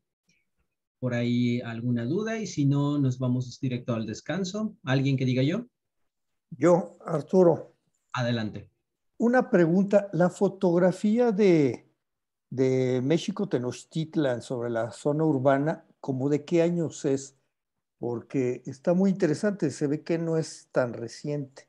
No. Incluso el canal de la viga, ¿no? Exactamente. Eh, estos, no mal me acuerdo, esta es una de las de los mapas que se hizo, debe haber sido uno de los mapas que se hizo en la década de los ochentas, que todavía se estaba utilizando un poco la, digamos, el empalme de imágenes. Sin embargo, el más reciente que del que ahorita me viene en memoria está en eh, la revista Arqueología Mexicana y ahí, ahí incluso vienen marcadas las principales vialidades, entonces genera una, una visión bastante más, eh, eh, bueno, para los que nos movemos en coche mucho por acá, nos genera una visión bastante más clara de dónde te estás, dónde terminaban los límites, dónde estaba, dónde estaba el lago básicamente me, da la impresión, así sin, sin, tener todos los elementos, pero esta es una, eh, eh, deben ser imágenes de alrededor de los, este, de, los 80, si no mal me acuerdo. Gracias. De nada. Ok, pues justo, son justo las 8.30. ¿Te parece si nos tomamos 15 eh, minutos? Correcto. Y entonces... Perfectísimo, nos vemos entonces 8.45, ya está. Ahora regresamos. No desconecto la, sesión, solamente pauso la grabación y micrófonos y audio. Nos vemos en un ratito. Perfecto.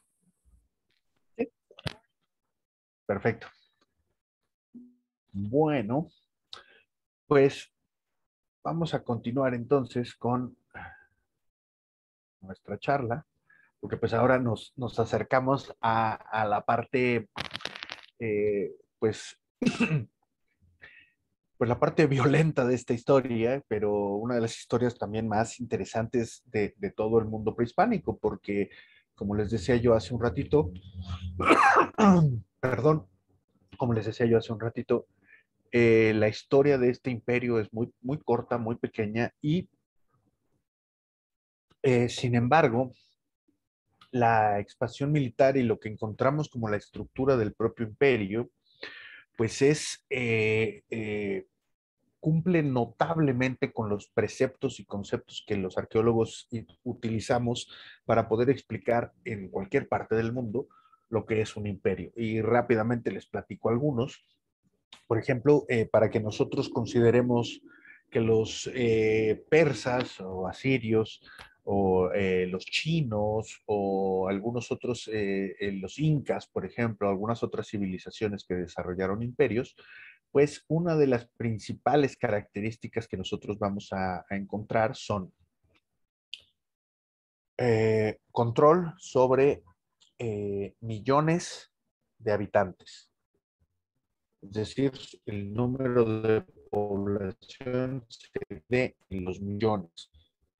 Eh, el número de kilómetros o el área controlada es obviamente muy, eh, muy variable dependiendo de las zonas geográficas del propio planeta, pero se considera como áreas continentales o subcontinentales que están bajo un mismo régimen. Y en ese caso, por ejemplo, los mexicas pues controlaron buena parte del centro de México de costa a costa y hacia el sur tuvieron una expansión bastante notable eh, tuvieron sus tropiezos, evidentemente, de los cuales ya platicaremos, pero eh, cumple también con esta, eh, con esta tarea. Y uno de los ejemplos del que hablaré al final, que es más interesante, digo, hay muchos otros elementos que definen imperios, como por ejemplo el uso de un solo idioma. los mexicas utilizaban como lengua franca, al igual que los romanos utilizaban el latín en todas sus provincias, independientemente del idioma que se hablara. Eh, los mexicas utilizaban el náhuatl como lengua franca y permitían que las poblaciones que ellos controlaban hablaran en otro idioma siempre y cuando no se refirieran a ellos o no tuviera que ver con temas económicos o militares. Es decir, los mexicas van a generar algo que nosotros llamamos imperio hegemónico. Y esto quiere decir que tienen control muy fuerte sobre las unidades políticas, pero un control muy suelto sobre la población general. Y estos pues son formas en las que los imperios se pueden desarrollar. Hay otros imperios donde, por ejemplo, hay un estricto control sobre las poblaciones y entonces pues esto es muy diferente. Sin embargo, a los mexicas lo que les interesaba era la extracción de productos, la extracción de recursos, la economía, la guerra, evidentemente, que es nuestro, nuestro tema, pero además un tema que, insisto, del que hablaremos hacia el final de la charla, que está marcado como el aprovechamiento de la diversidad. Es decir, los imperios o los grandes imperios lo que van a hacer es aprovecharse o usar a su favor todas las, eh, todos los recursos que se tienen a la mano. Y entonces, pues nosotros vamos a ver una extracción de productos muy fuerte de muchas regiones y de una serie de productos muy variados. Esto lo vamos a poder comprobar con los textos, como por ejemplo la matrícula de tributos, de la que vamos a hablar un poquito más adelante. Pero la diversidad que los arqueólogos estamos encontrando en los depósitos de ofrendas, en los depósitos eh, arqueológicos al pie del Templo Mayor, sobrepasa por mucho, por mucho, las, eh, las previsiones que teníamos históricamente de esto, y ya verán a qué me refiero un poquito más adelante cuando hablemos de, las ofrendas hacia el final. Como les digo, entonces, pues aquí lo que va a suceder es a partir de la caída de Escapotzalco es el nacimiento propiamente de un imperio, que está fundamentado por la apropiación de pequeños estados o reinos a través de la fuerza. Y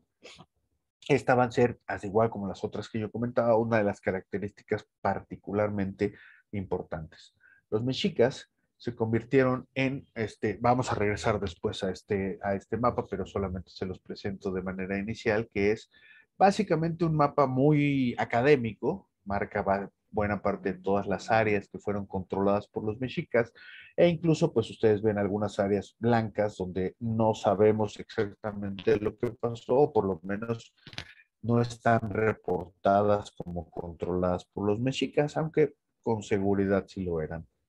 Las provincias que están en rojo, ya les platicaré yo qué son, pero son los lugares no conquistados. Las provincias que están en azul, como con diamantina, son provincias que se aliaron a los mexicas, vamos a decir, a la buena.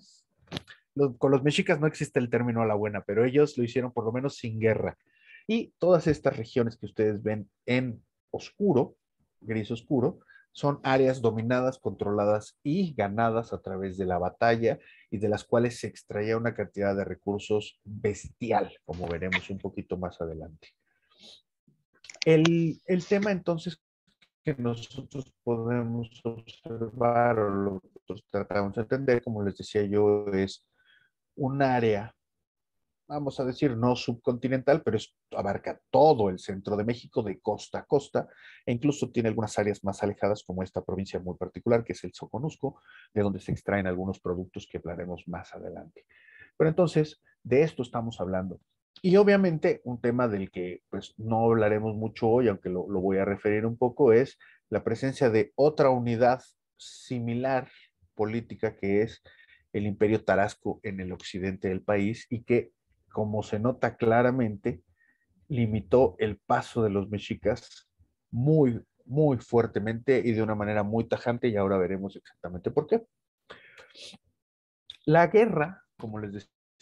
yo, para los mexicas, va a ser el vehículo fundamental con el cual van a poder llegar ellos a todas estas regiones. Algunas regiones van a llegar porque, por ejemplo, eran las más cercanas, algunas de ellas eran de origen o bajo control tepaneca, bajo el control de Azcapotzalco, y entonces iban a conquistar los pueblos que pues eran de, del que ya habían conquistado ellos, que era Azcapotzalco, es decir, iban a refrendar sus propios nuevos territorios, pero la expansión era muchísimo más grande y por lo tanto lo que comenzaron a desarrollar los mexicas es una orden de militares muy grande, muy importante, y que además iba a estar dividida de dos formas. Una iba a ser a través de los guerreros eh, más iguales, es decir, los guerreros que son de bajo nivel, de, de, donde los, perdón, no de bajo nivel, sino donde la población es de origen que no es noble, y el ejército de los nobles, el ejército Pipiltin, el ejército de los, de los personajes eh, élite de la, de la propia México Tenochtitlan. Para que me entiendan de alguna manera propiamente, unos estudiaban, por ejemplo, en el Calmeca, aquí en la Casa de las Águilas, que son las áreas dentro del gran recinto, los grandes edificios dentro del gran recinto dedicado a la educación, y muchos otros se estaban eh, eh, aleccionando para la guerra de maneras pues muchísimo menos formales en sus propios templos locales, en sus propias escuelas locales. Por lo tanto, lo que íbamos a ver es dos, digamos, órdenes importantes de ejércitos que van a ser muy parecidos, van a estar muy altamente relacionados. En los dos sistemas, por ejemplo, el ascenso de los guerreros se va a dar a partir del número de cautivos que se tiene. Entonces, por ejemplo, el Códice Mendoza nos va hablando eh, con mucho detalle de todos los personajes que son eh, eh, todas las órdenes de ejércitos y por ejemplo que existe el orden de los guerreros otomíes, que son los que tienen, son guerreros que no son nobles, pero que tienen cinco capturas de prisioneros. ¿Cómo se visualiza esta captura? Pues obviamente llevarse vivo hasta México Tenochtitlan a alguien que hayan capturado en alguna de sus múltiples guerras.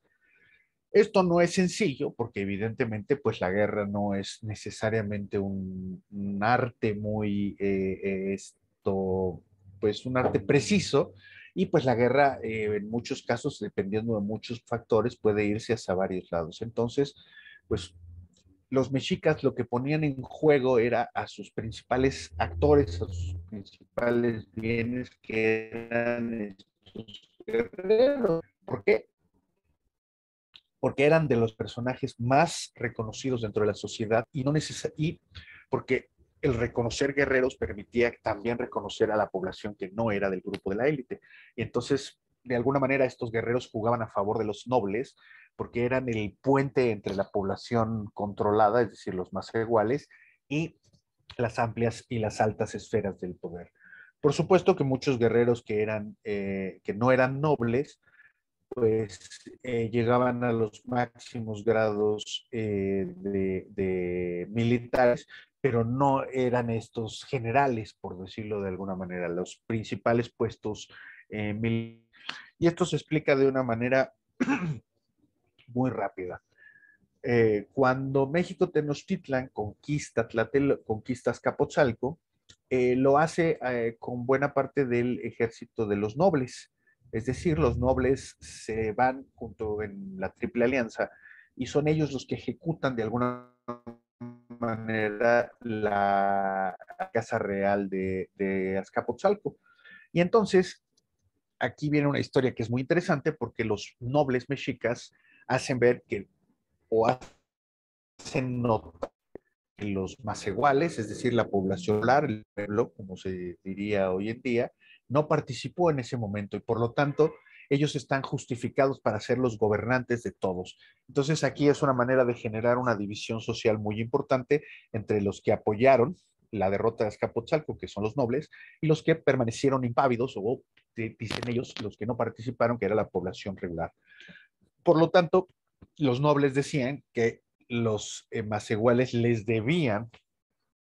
su libertad y su futura eh, buena aventura dentro de México Tenochtitlan. Y entonces se hizo un arreglo social o lo que nosotros llamamos un pacto social en el que los más iguales eran un grupo de segundo orden y nunca ascendía y los pipiltin y los, la, nobleza, los, la élite de los mexicas, pues siempre se conservaba en el poder. Y por eso vamos a ver que los gobernantes que vamos a ver un poquito más adelante, todos pertenecen y obviamente, pues lo que estamos viendo es un grupo que se está apropiando totalmente del todo el grupo antes de la expansión militar. Y justamente con la expansión militar, pues van a justificar sus victorias, son las victorias de los nobles, y entonces, pues ellos están de alguna manera llevándole grandeza a todos.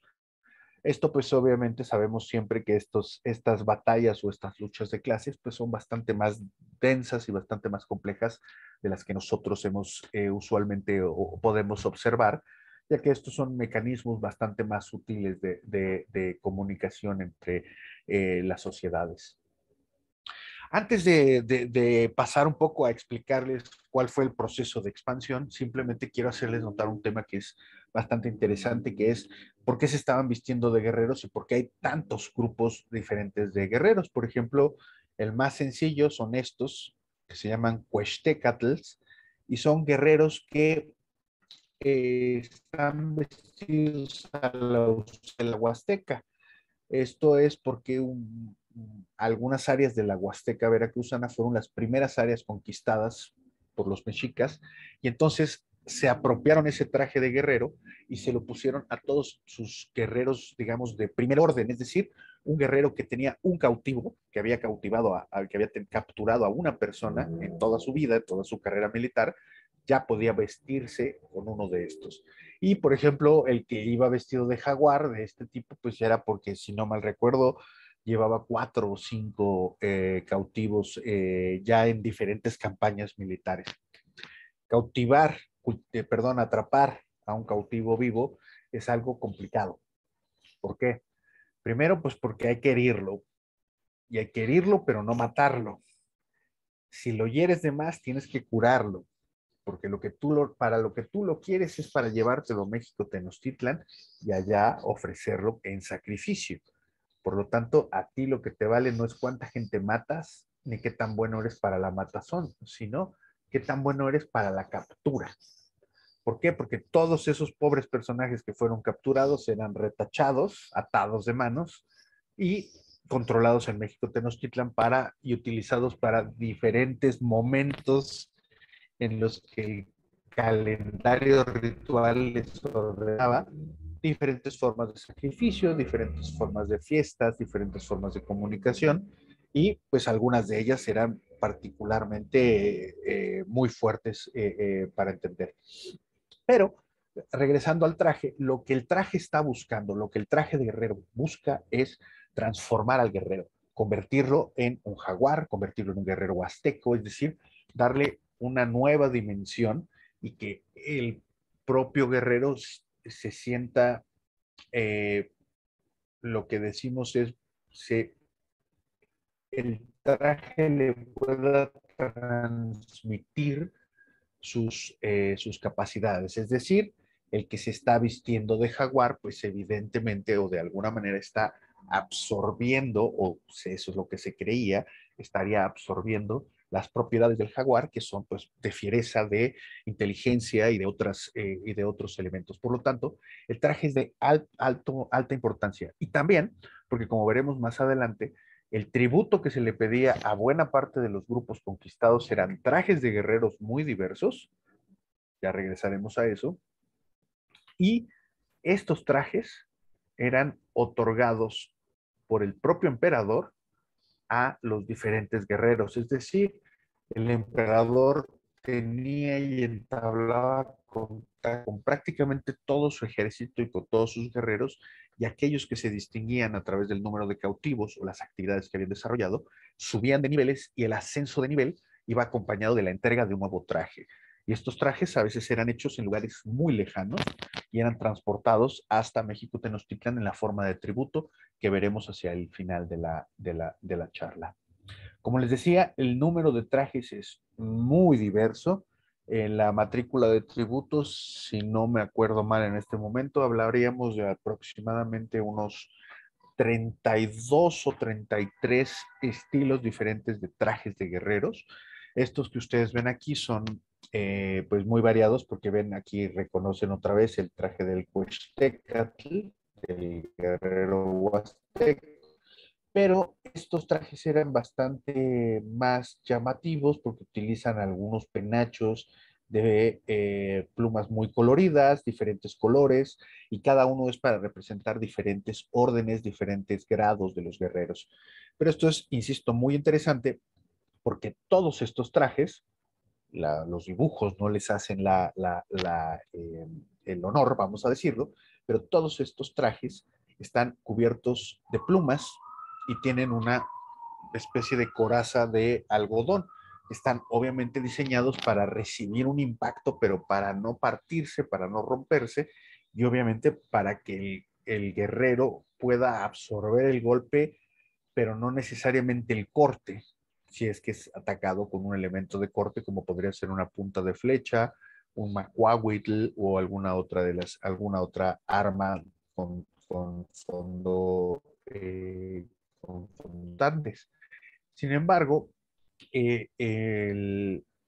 esta presencia de los trajes como les platicaba yo, pues la vamos a encontrar que se está solicitando a todos lados y esto es una cosa que económicamente generó muchos problemas porque a muchas regiones a forma de castigo se le pedían estos trajes, por ejemplo, pintados de con plumas azules, entonces pues por ejemplo el pueblo que le tocaba hacer el, el tributo de estos trajes pues se metía en una bronca gigantesca porque tenía que conseguir plumas azules para poder elaborar los trajes y mandárselos al emperador de México Tenochtitlan cada que tocaba, que era aproximadamente, y dependiendo de los casos, cada cuatro meses, cada seis meses o cada año los tributos que se enviaban. Los mexicas eran muy, eh, como veo hoy, como se dice vulgarmente, porque le daban, eh, le pedían los tributos de forma muy diferente a cada una de las, las eh, provincias que conquistaban. El guerrero, además, se va a convertir en un personaje fundamental. ¿Por qué? Porque es el principal informante que tiene el imperio. Ellos y los comerciantes. Son las personas que están encargadas de ir a tierras muy lejanas y regresar con información valiosa. ¿Qué es información valiosa? Por ejemplo, hay mercados importantes en tal región, hay problemas sociales en tal otra región, en tales otras áreas, y entonces el emperador y su gente pues decidían por dónde podían ir haciendo, generando su, su magia, su caos, y entonces tenían una red muy amplia de comerciantes, de guerreros regados por todo su territorio, que les informaban de buena parte de los datos que eran fundamentales para la conquista.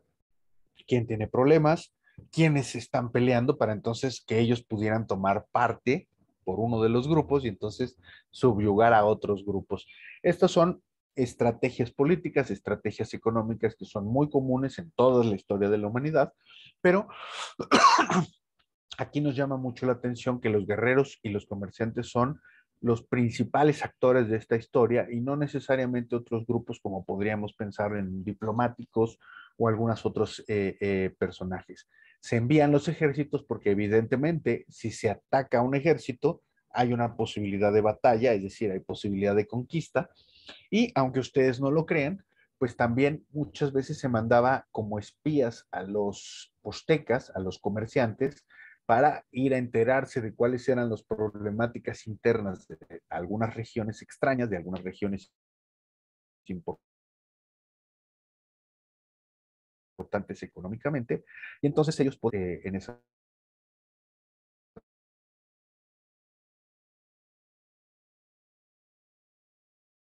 provincias. Entonces esto es hacia el área, hacia la zona de influencia mexica y entonces los mexicas van a empezar a conquistar áreas de las que en muchos sentidos idea de que eso existía, hasta que los, eh, hasta que los eh, militares o los, los comerciantes les informaban, entonces es que ellos podían ir tomando una serie de determinaciones importantes. ¿Cuál es el valor entonces de, de, eh, de esta modalidad, pues como yo les decía hace un momento, aquí lo vemos en un ejemplo de la piedra de Tizoc, la idea es capturar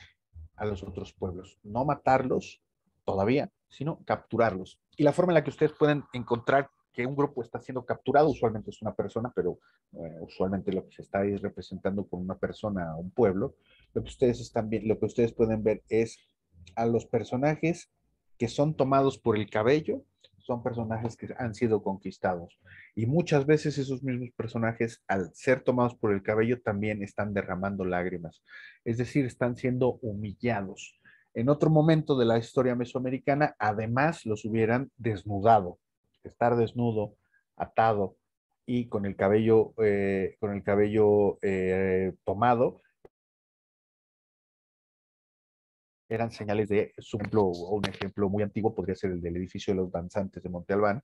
donde pues todos los personajes que se encuentran en, esa, en esas lápidas están eh, desnudos o algunos están en posiciones muy, eh, muy eh, comprometidas, mutilados, etcétera, etcétera. Es toda una tradición para, para obtener cautivos de guerra que como hemos platicado, es uno de los bienes más importantes que pueden tener los mexicas. ¿Por qué? Porque son un pueblo altamente religioso y su religión está fundamentada o tiene parte de sus fundamentos en la creencia de que se necesitaba tomar la vida de algunos seres humanos para eh, poder justificar religiosamente el advenimiento del futuro. Eh, la historia más común es propiamente la de los sacrificios humanos, donde eh, se hacían en general para dedicarse a Tonatiuh, para el sol, para asegurar que el sol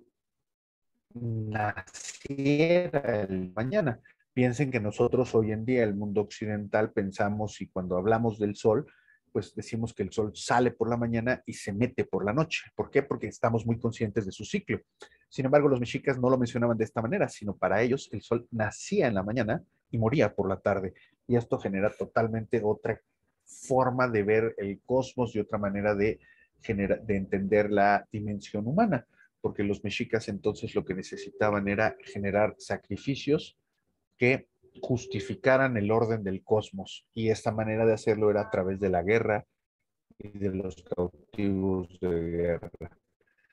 Idea de que los propios mexicas o los propios tenoscas fueran sacrificados por su propio pueblo no es una historia de la que nosotros estemos muy seguros, puesto que nunca eh, en la historia de la humanidad hay muy pocos casos donde podemos ver que la, que la élite se comporte salvajemente o brutalmente con la población y que siga siendo eh, apoyada. Usualmente eh, no es este un, mecanismo normal. ¿Cuál es el destino final de todos estos guerreros? ¿Por qué son tan importantes? Pues porque los mexicas tienen, como decimos, una visión muy particular de su ideología, muy particular de cómo están representando los espacios y ellos mismos, pues por ejemplo, tienen eh, este tipo de manifestaciones como los zompantlis, en donde podemos hablar y ver dónde fueron a quedar todos estos eh, numerosos eh, guerreros que fueron capturados y posteriormente sacrificados.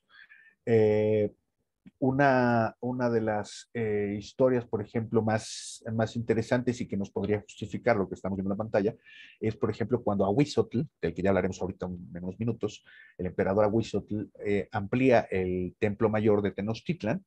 nosotros los arqueólogos le llamamos la etapa 6 del templo mayor, y pues según las crónicas, eh, varias crónicas, el emperador mandó a sacrificar cerca de 50 mil personas que provenían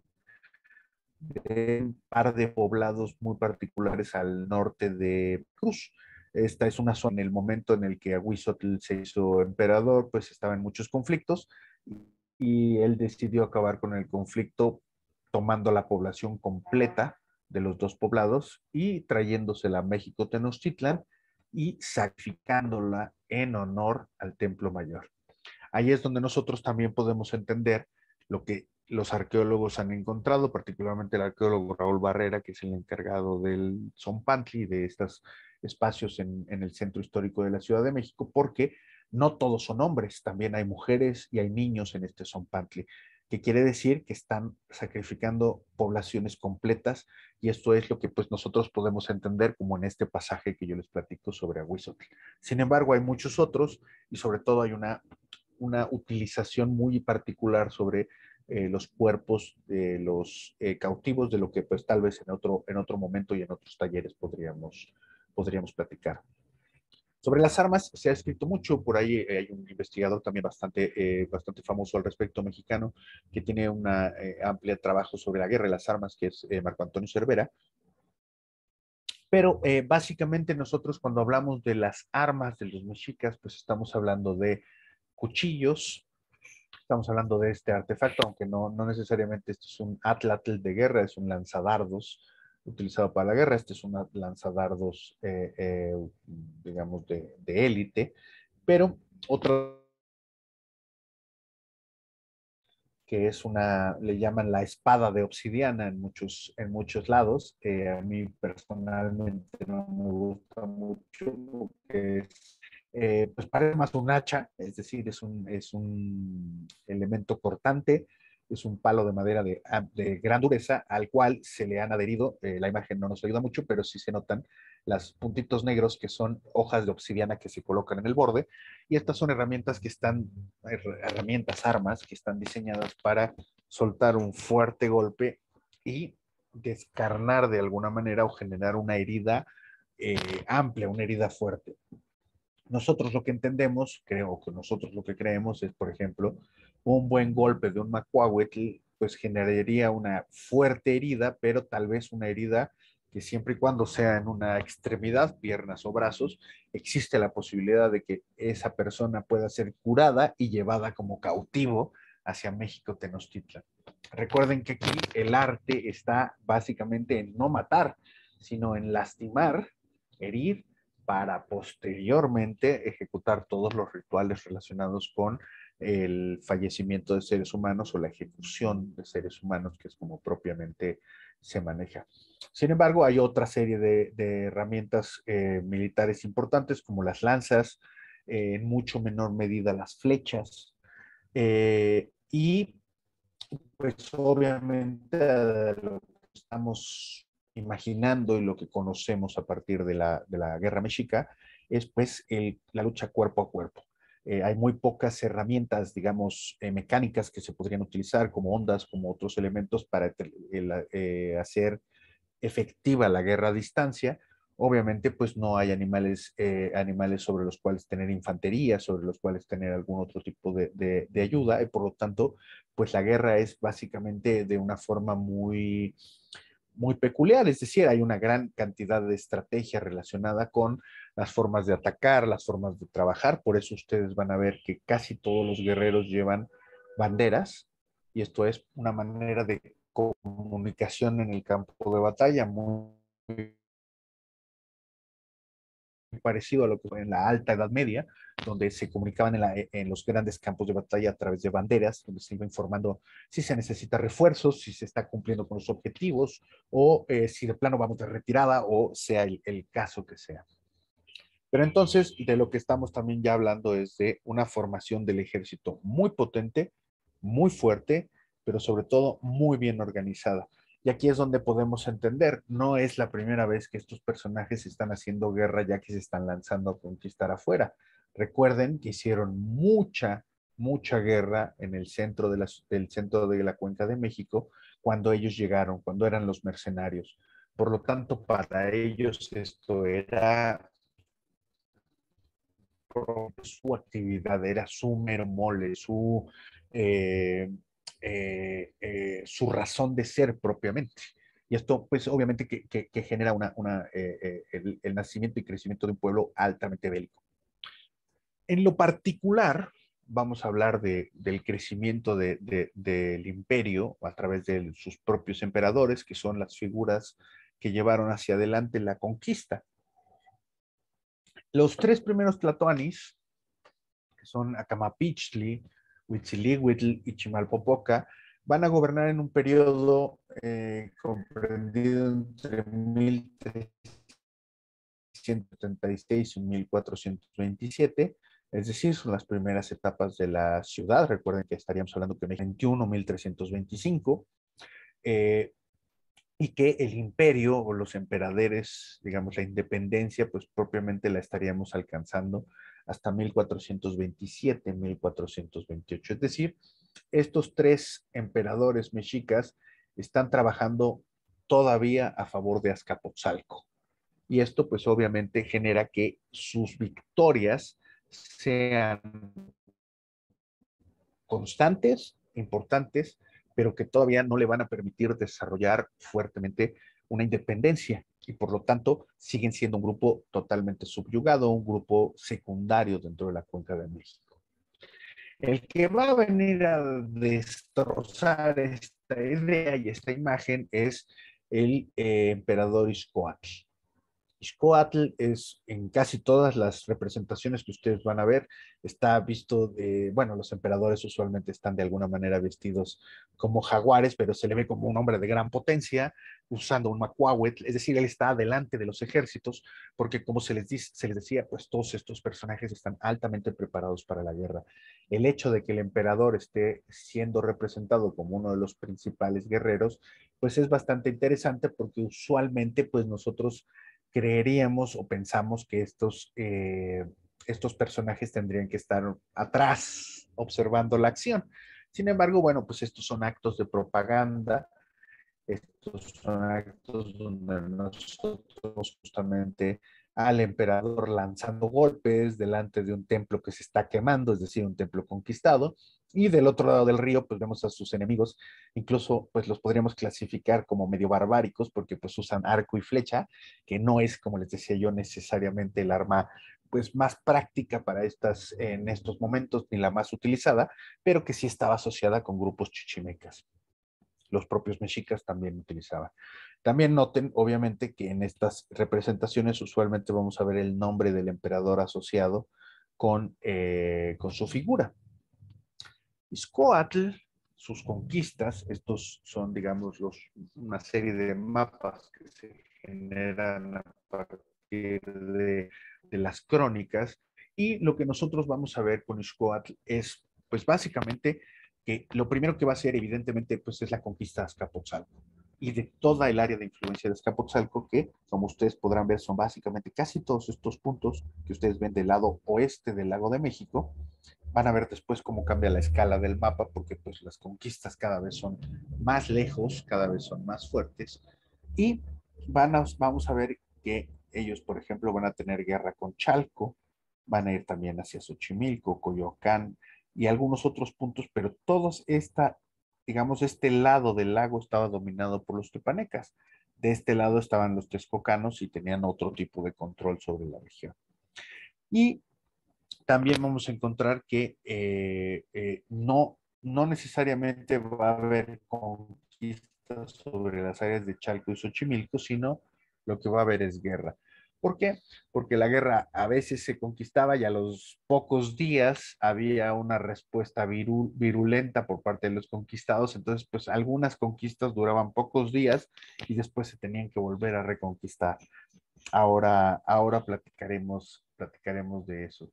Iscoatl, bueno, obviamente esta es otra, insisto, otra imagen donde se le ve disfrazado de jaguar. Ustedes pueden ver la decoración de la piel, incluso la cola del jaguar eh, eh, vestido, es decir, se está representando a sí mismo como un hombre fiero que está luchando cuando le están aventando saetas y le están aventando lanzas. Es la idea y la representación de uno de los personajes más eh, importantes y queridos de la historia. ¿Por qué?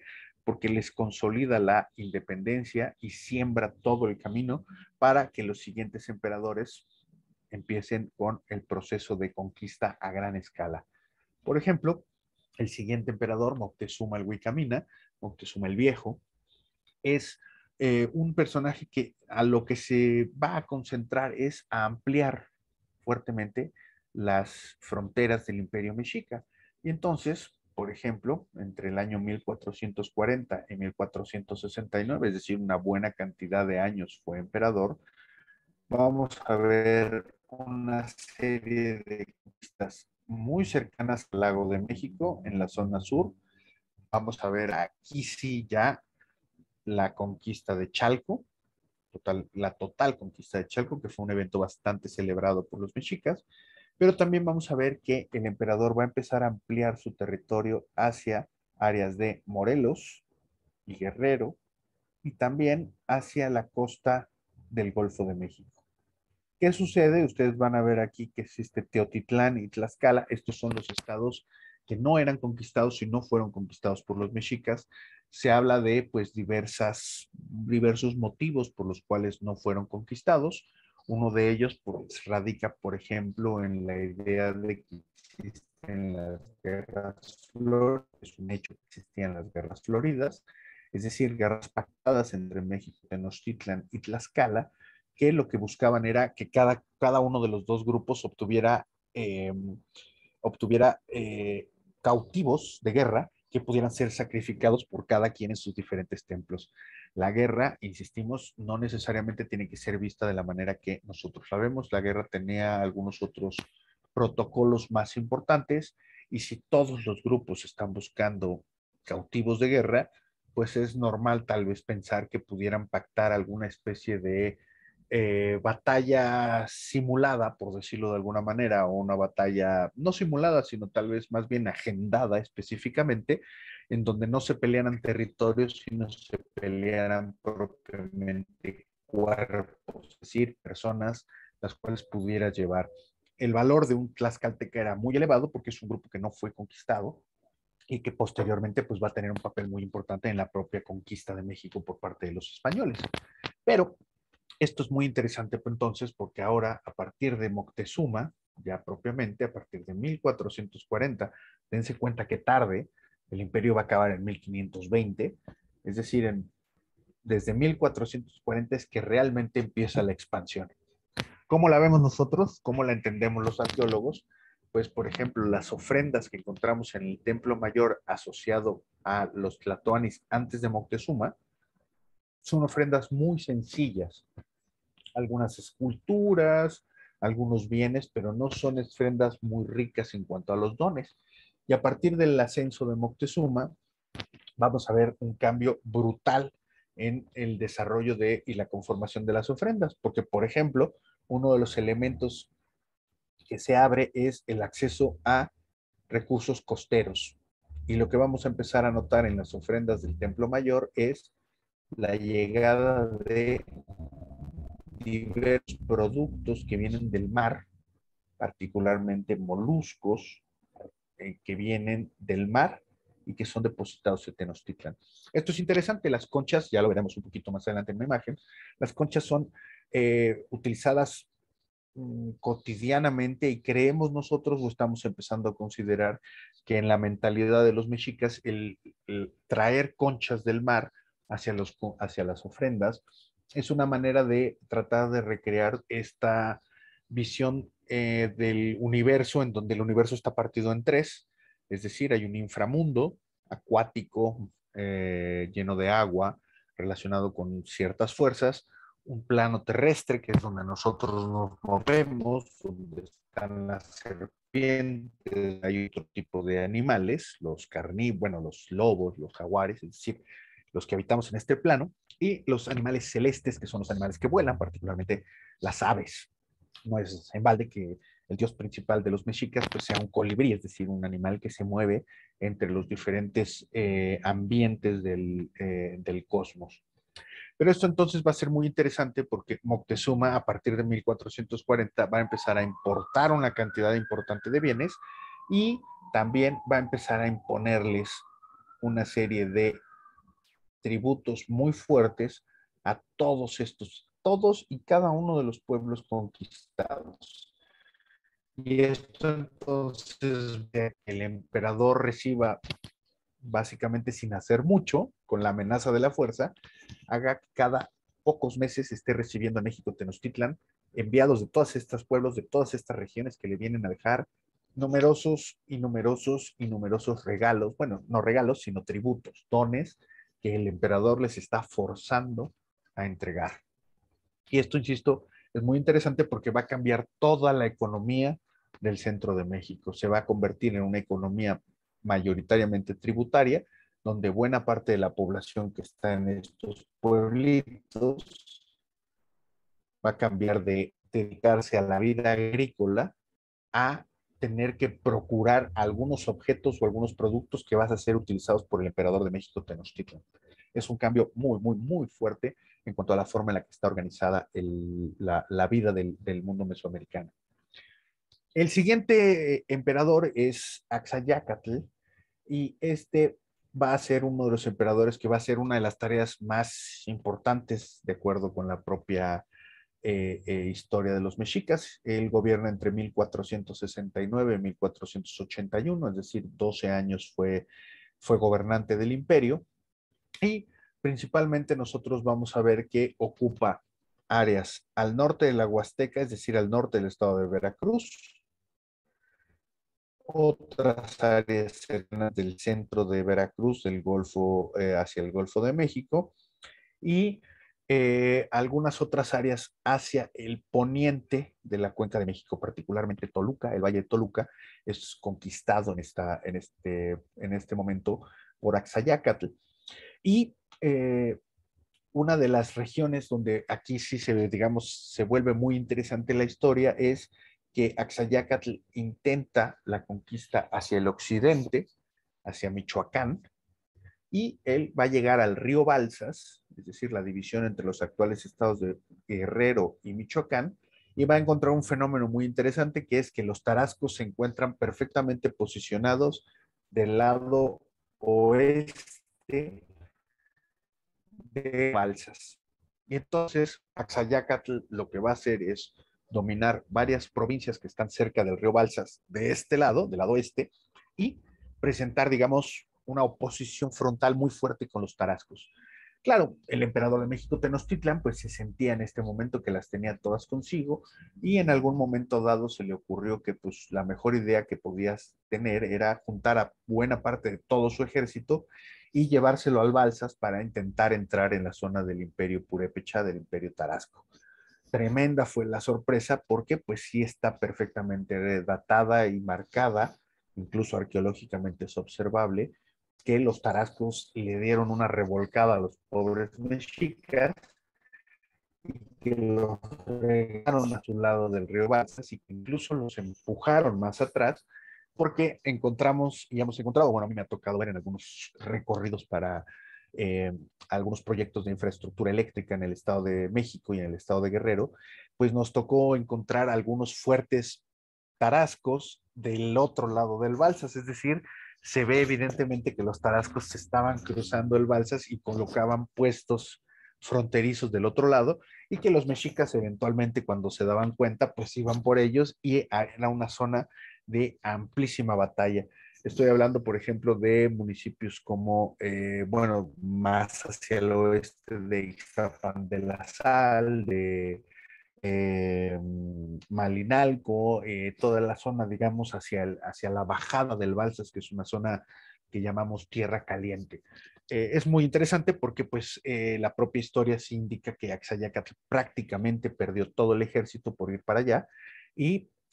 tuvo que regresar rápidamente y pertrecharse en, en, México Tenochtitlan. Sin embargo, un tema muy interesante que dejó en toda esta región fue fortificaciones mexicas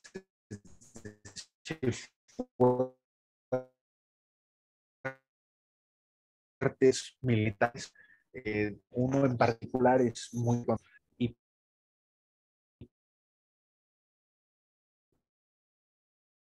puedan ver hacia pues van a ver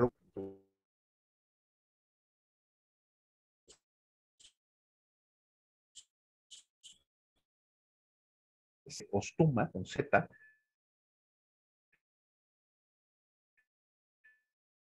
Y es la más importante de los mexicanos. Es difícil de acceso, hay muy pocas, es uno de esos sitios que soñamos los arqueólogos con explorar, porque pues eh, es un sitio eh, eh, que tiene una historia muy, muy... Axayaca de los mexicas, que es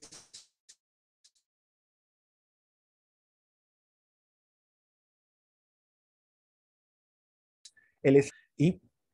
lo eh,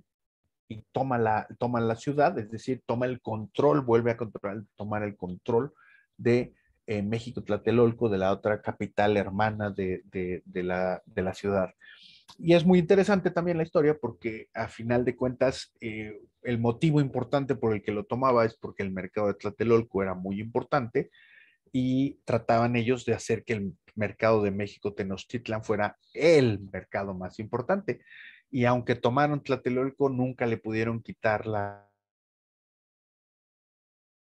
endimia a Tlatelolco y por eso, bueno, se asocia mucho con toda la, la región que está alrededor de ellos, toda la región de Tepito y toda la región de lo que llamamos Barrio Bravo, porque es una zona que no pudieron, es decir, si bien ya estaba bajo control de los mexicas, no podían ejercer muy bien su control en esta región, a pesar de que Axayacatl dominó la, eh, otra parte de, la ciudad. Tizoc, eh, más adelante, va a ser un eh, personaje cuyo reinado entre 1481 y 1486 es muy corto, y lo primero que va a hacer él, lo primero que va a a intentar hacer es consolidar las zonas que ya fueron conquistadas. Usualmente en el cambio de Tlatoani, en el cambio de emperadores, todos los que estaban en contra de ser tributarios, pues se levantaban. Entonces había muchas reclamaciones en cuanto a, victorias y derrotas y premios y precios que se pagaban como tributaje. Y Tizoc, pues básicamente lo que le tocó, la parte que le tocó a él fue la de eh, consolidar todas las, eh, las, conquistas que había hecho Axayacatl anteriormente. Sin embargo, por ahí pudo, eh, pudo abrir el camino hacia, hacia un lugar que, que, será importante en el, más adelante, que es la conquista de Tlapan, que es Tlapa, el municipio de Tlapa, un municipio muy pobre del centro de Guerrero, que es el área que nosotros llamamos la montaña de Guerrero. Es decir, se iban adentrando poco a poco hacia la Sierra Sur, la Sierra Madre Sur, de la Sierra Sur, perdón, de, de México, y la iban cruzando poco a poco hacia el Océano Pacífico. Tendría que ser que llegar uno de los emperadores más potentes de, la historia mexica. En lo personal, tal vez eh, el, favorito del quien habla, porque Aguizotl eh, tuvo una visión también muy potente. Él sí pudo lanzarse contra algunas regiones y pues tenía algo de lo que nosotros llamamos algo de Alejandro Magno en sí mismo porque se le pasó la mano con las conquistas. El mapa se amplía muchísimo cuando Aguizotl fue eh, el, emperador, el, el gobernó entre 1487 y 1502. Lo que a nosotros nos llama muchísimo la atención es que va a conquistar áreas de la costa del Pacífico, es decir, Petatlán, eh, eh, eh es decir, Ixtapas, Cihuatanejo y eh, Puerto Lázaro Cárdenas, toda esta región ellos la están controlando. tuvieron que saltar esta región pequeñita, bueno, ni tan pequeñita que está cerca de Acapulco, que se llama Yopitzingo, donde vive y habita todavía el llamado pueblo Yope, y es un pueblo muy rudo, muy difícil. Yo en lo personal tuve que ir a hacer allí un trabajo por una presa que se iba a hacer hace unos 10 años en esta región y no, no se pudo hacer la presa porque el pueblo eh, Yope de, de, la región y las organizaciones políticas que hay en el área son muy poderosas, son muy fuertes y no hubo manera de desarrollar el proyecto de, de, de infraestructura eléctrica. Pero esto, insisto, es muy interesante porque, eh, eh, bueno, algunos de nosotros detenidos con punta de arma, etcétera, etcétera, pero a mí lo que me daba risa es que nos decían eh, que ellos eran yopes y, con perdón de la expresión, yo soy yope y soy un cabrón y entonces no nos dejaban ni siquiera caminar, nos quitaron los coches, nos quitaron las cosas y estuvimos ahí que negociar durante horas. Pero claro, eh, uno en esa época yo no me dedicaba a los aztecas, no me dedicaba a los mexicas, entonces a mí me llamó mucho la atención que él me dijera o que este personaje me dijera que era yope y lo primero que hice fue ir a investigar quiénes eran las yopes y gran fue mi sorpresa darme cuenta que pues nos estábamos metiendo en un área muy complicada del estado de Guerrero y que tiene un historial muy potente de, de, eh, lucha social. Eh, fuera de esa, de esa conversación, el otro tema, la otra área hacia donde se empezó a desarrollar, crecer el imperio con Aguizotl fue, aquí se nota claramente, entrar a Oaxaca, al estado de Oaxaca, hacia los valles centrales y llegar hasta una región que pues nos sorprende muchísimo a los arqueólogos, que es lo que nosotros llamamos hoy el Soconusco, es decir, la frontera entre Chiapas y Guatemala, un área que pues era particularmente rival o uno de los principales pues sería el que es una zona de eh, crecimiento natural del cacao. Y el cacao era, como ustedes saben, utilizado como una moneda en el mundo prehispánico hacia cerca de 1520 y por lo tanto controlar una región que produjera dinero, pues era básicamente como tener dinero en los árboles. Esta provincia es una de las que más productos exportaba hacia México Tenochtitlan porque era muy diversa y si ustedes recuerdan, yo les platiqué hace un ratito que los mexicas y los imperios buscan explotar diversidad, es decir, sacar provecho de todo lo que están ellos conquistando, porque a final de cuentas para ellos pues no es su región, ellos están aprovechando el territorio de otros que han conquistado y eso es pues bastante, bastante interesante. Aguizotl, solamente por si no se acuerdan o no recuerdan, es, eh, es un, se representa también como un perro, se llama perro de aguas, aunque básicamente no es un perro, es un animal mitológico más parecido un tría, porque pues las crónicas hablan de que se la pasaban nadando en el agua y los perros prehispánicos no eran muy nadadores, mitológica que vivía eh, en el agua. Aguizotl, pues además va a tener ahí una, una este, historia muy interesante que es también su, la muerte relacionada con el agua, es decir, parece que tenía este, predestinado el, el, el, final de su vida a través del propio nombre que se le dio al nacer.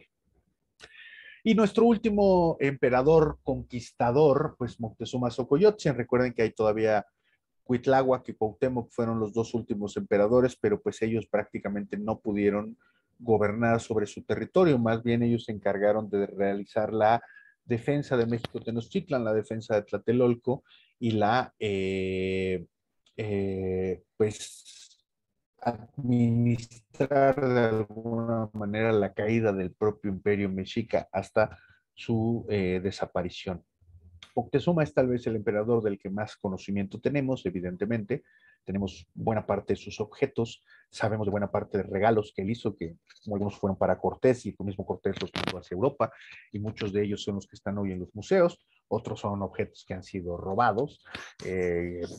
cochinamente de nuestro país. Pero eh, Moctezuma va a ser pues eh, un emperador muy, muy importante, insisto, porque lo conocemos más sabemos más incluso de su propia muerte, de algunos detalles en particular. Su reinado es entre 1502 y 1520 y a él le va a tocar, así como hablábamos hace un par de, hablamos que eh, eh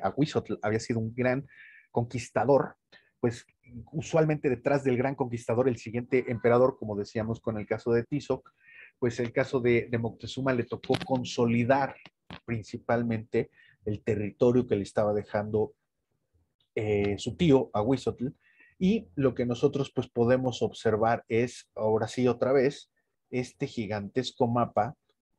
de México, donde vemos pues prácticamente el control de toda el área central y entonces podemos regresar al concepto de hay un control sobre millones de personas en un territorio de cientos de miles de kilómetros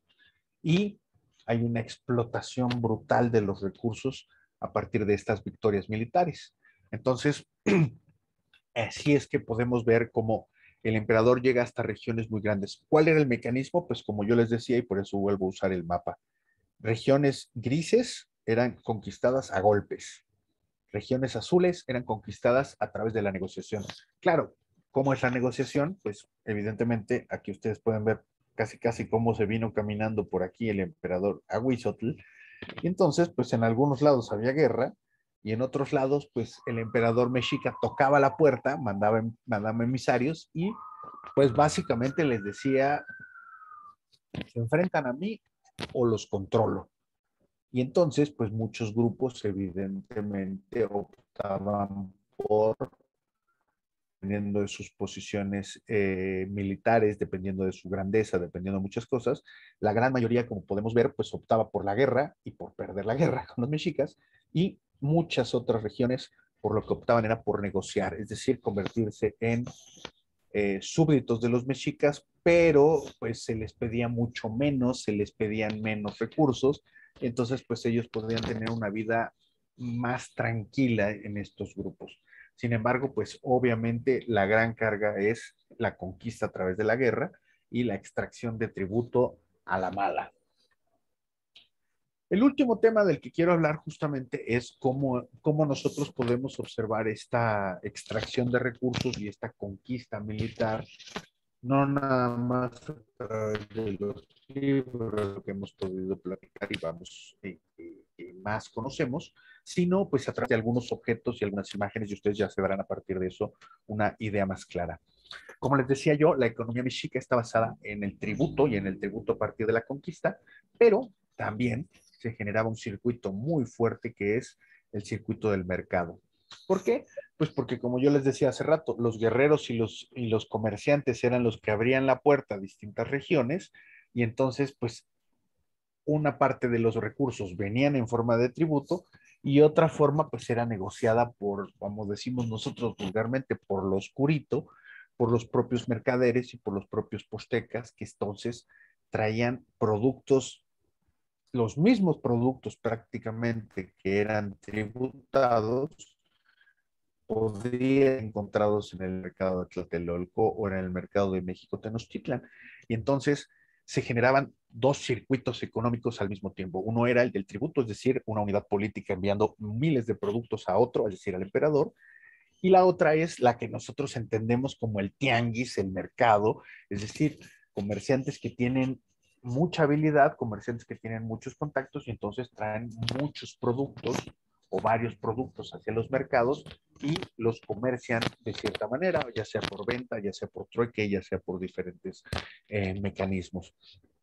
La población regular de México Tenochtitlan, el 90% de la población seguramente viviría el mercado popular todos los días, es decir, del consumo en los mercados, y obviamente la élite y el gobierno eh, central mexica, es decir, un 10-15% de la población, es el que estaría aprovechando totalmente del tributo que era sobrecogedor en cuanto a cantidades. El tributo, como les decía yo, pues es propiamente una solicitud específica. Es decir, por ejemplo, el emperador de México Tenochtitlan al conquistar, en este caso a Huizotl, al conquistar el Soconusco,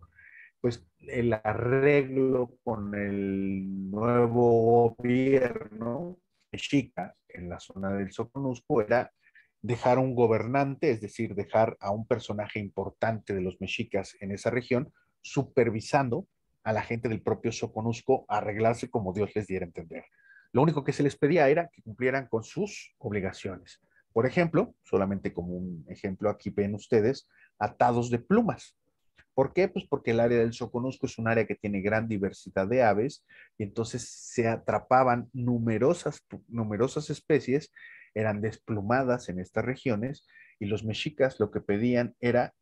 el atado de las plumas. Aquí arriba ustedes ven es un arbolito, no se nota muy bien en la imagen, pero este arbolito significa 400. Es decir, este es un pedido de 400 plumas. Y estas plumas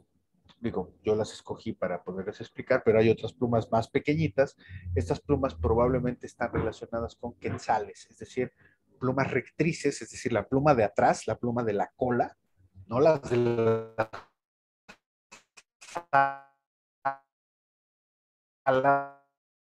no,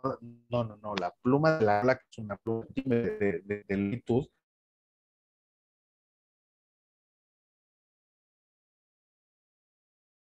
se pedían 400 de esas, taros que eran mm, eh, dispuestos para que los gobernantes mexicas se vistieran a 1800 kilómetros de distancia. Es algo, es una historia,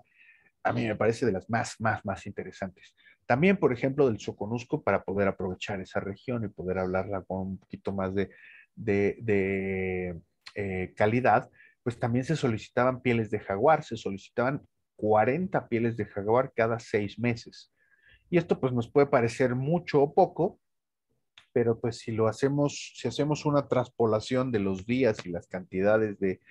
eh, de animales que se está pidiendo, pues 40 jaguares en 180 días, es decir, en medio año equivale a un jaguar cada cuatro días. Es decir, tenían que tener una cantidad de gente brutal buscando, cazando y preparando, porque además están pidiendo pieles de adulto, están pidiendo pieles de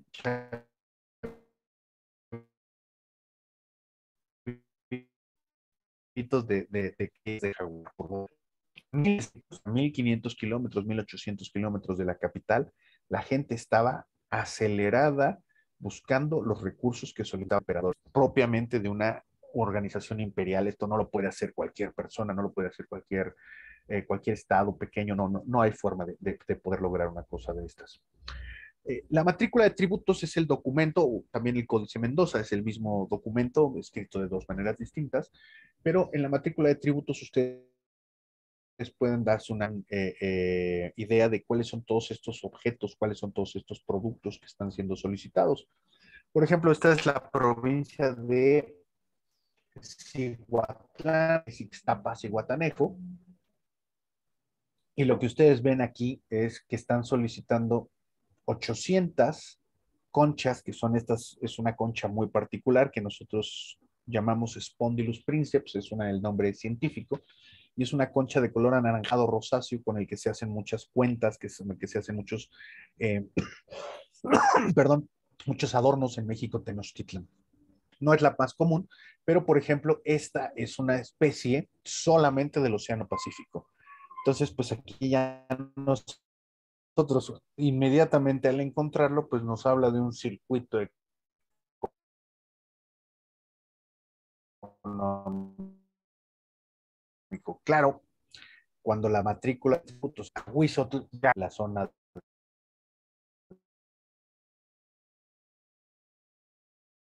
de Cihuatlán, por lo tanto, ya solamente ya aquí hay cantidades brutales de mantas de algodón, que es otra de las formas de ejercer el tributo, además de los productos y lo como les mencioné yo antes, los trajes de guerrero. Aquí ustedes lo ven con mayor claridad. Miren,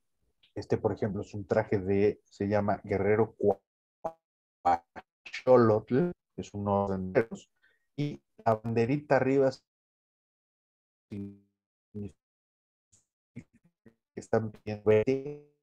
de estos trajes y también de este traje completos de este, 20 trajes de este, que es un guerrero, guerrero Y abajo ustedes ven 400 mantas con este diseño, 400 mantas con este diseño, 1200 mantas blancas, y así nos vamos con toda la cantidad de productos que ellos pedían. Se pedía miel, se pedía eh, madera, se pedía eh, granos, se pedía una cantidad muy importante de recursos. Y estas son algunas de las láminas. Por ejemplo, insisto, peticiones muy importantes de trajes de guerreros. Aquí arriba vemos las cajas de eh, cereales, de granos que se están solicitando y las, por ejemplo, mantas que se solicitan. En algunos otros lados, por ejemplo, se piden bolsas de copal, como esta que estoy aquí señalando, y algunos otros productos que son propios de las regiones que son conquistadas. Eh, entonces, justamente esto es eh, la forma en la que se explota la diversidad. Se identifican los recursos económicos importantes y se están extrayendo de las regiones que, son, eh, que son productoras. Finalmente, para acabar con la, con la charla del día de hoy, pues les platico yo cómo es que nosotros vemos todos estos objetos que ganó la guerra, todos estos objetos que pudo México Tenochtitlan eh, eh, obtener a partir de la llegada del mercado, pero particularmente de los, de los tributos. Y pues esto solamente nosotros lo podemos observar en las ofrendas del Templo Mayor. Cuando ustedes ven el edificio del Templo Mayor, todo lo que excavamos alrededor básicamente son rellenos de los edificios, es decir, tierra y piedras.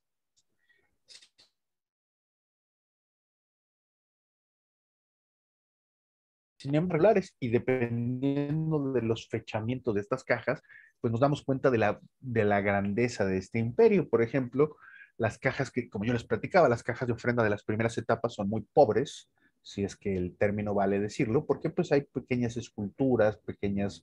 eh, pequeños regalos. Por ejemplo, cuando se conquista el estado de Morelos o parte del estado de Morelos, que lo hizo el primer Moctezuma, pues empiezan a traer eh, buena cantidad de copales, por ejemplo, y lo vemos en las ofrendas. Pero ya cuando conquistan las dos costas, es decir, la costa del Atlántico y la costa del Pacífico, hacia la época de Aguizotl, cerca de 1500, pues la diversidad es muchísimo mayor la riqueza de productos es muchísimo mayor. Ejemplo que en Chicalco del Templo Mayor y lo que ustedes ven en el fondo es solamente para que identifiquen las áreas de donde se están trayendo los productos. Esto es un lobo adulto, una loba es una, una hembra que probablemente proviene del centro de México. El lobo seguramente más hacia el norte de, de la cuenca de México. Está acompañado, aquí ustedes ven todas estas conchas que ven ustedes aquí, provienen en la mayoría, por lo que puedo ver de, de, de, las, de estas conchas, provienen del Atlántico.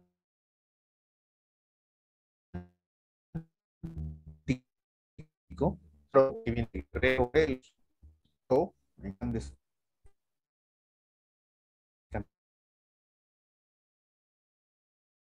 cantidades, el otro proviene de zonas como Oaxaca, como Guerreros, que viene, también, viene de esa zona del, del eh, México. Pero entonces lo que nosotros esta misma ofrenda nos presentó corales, nos nos enseñó galletas de mar, nos eh, mostró eh, caracoles, nos mostró también peces sierra, un, el aparato masticatorio de una mantarraya, bueno, una raya, perdón, no eh, es decir, encontramos una biodiversidad muy, muy importante, pero en particular, las especies que nosotros identificamos de este depósito provienen tanto del Pacífico como del Atlántico. Y esto arqueológicamente nos dice que este es o a suma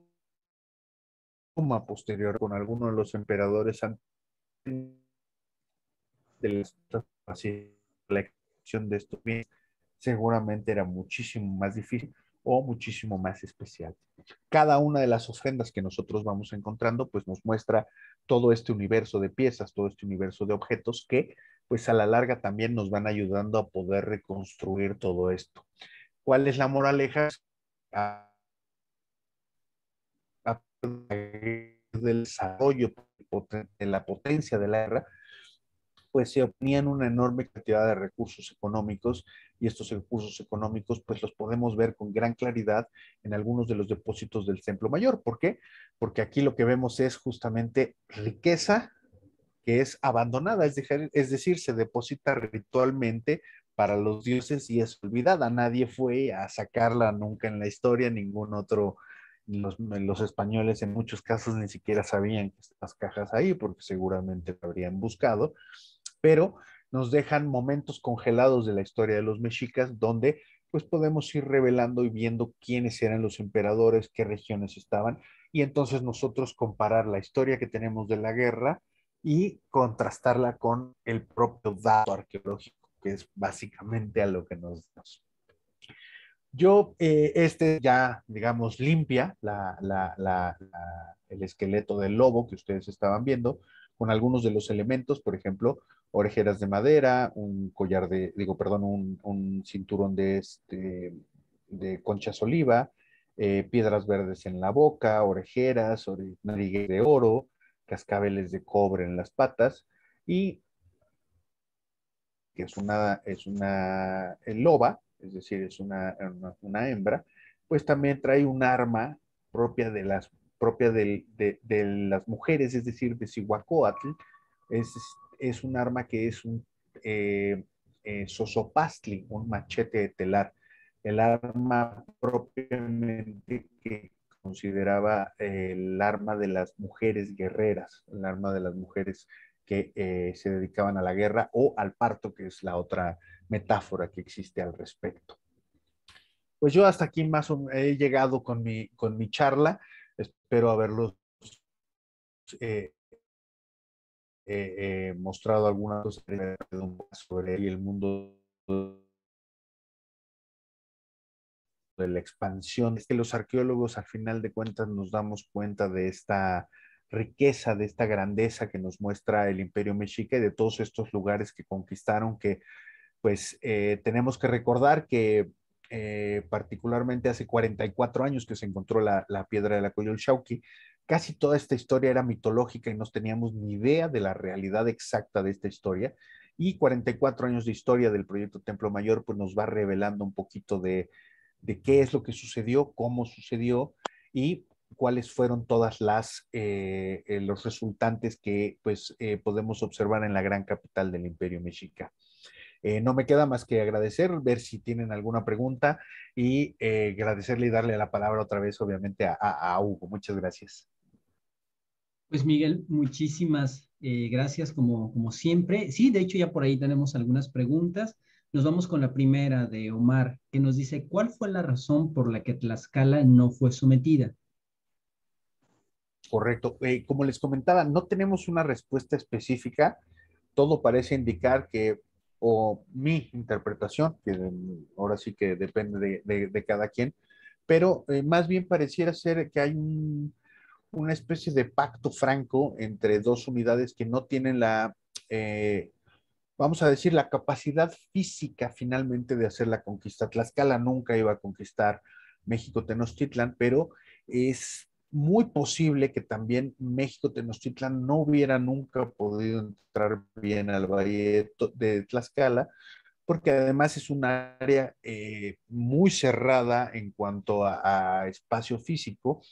y por lo tanto, pues eh, yo creo que la evaluación militar era que pues se podían haber pasado ahí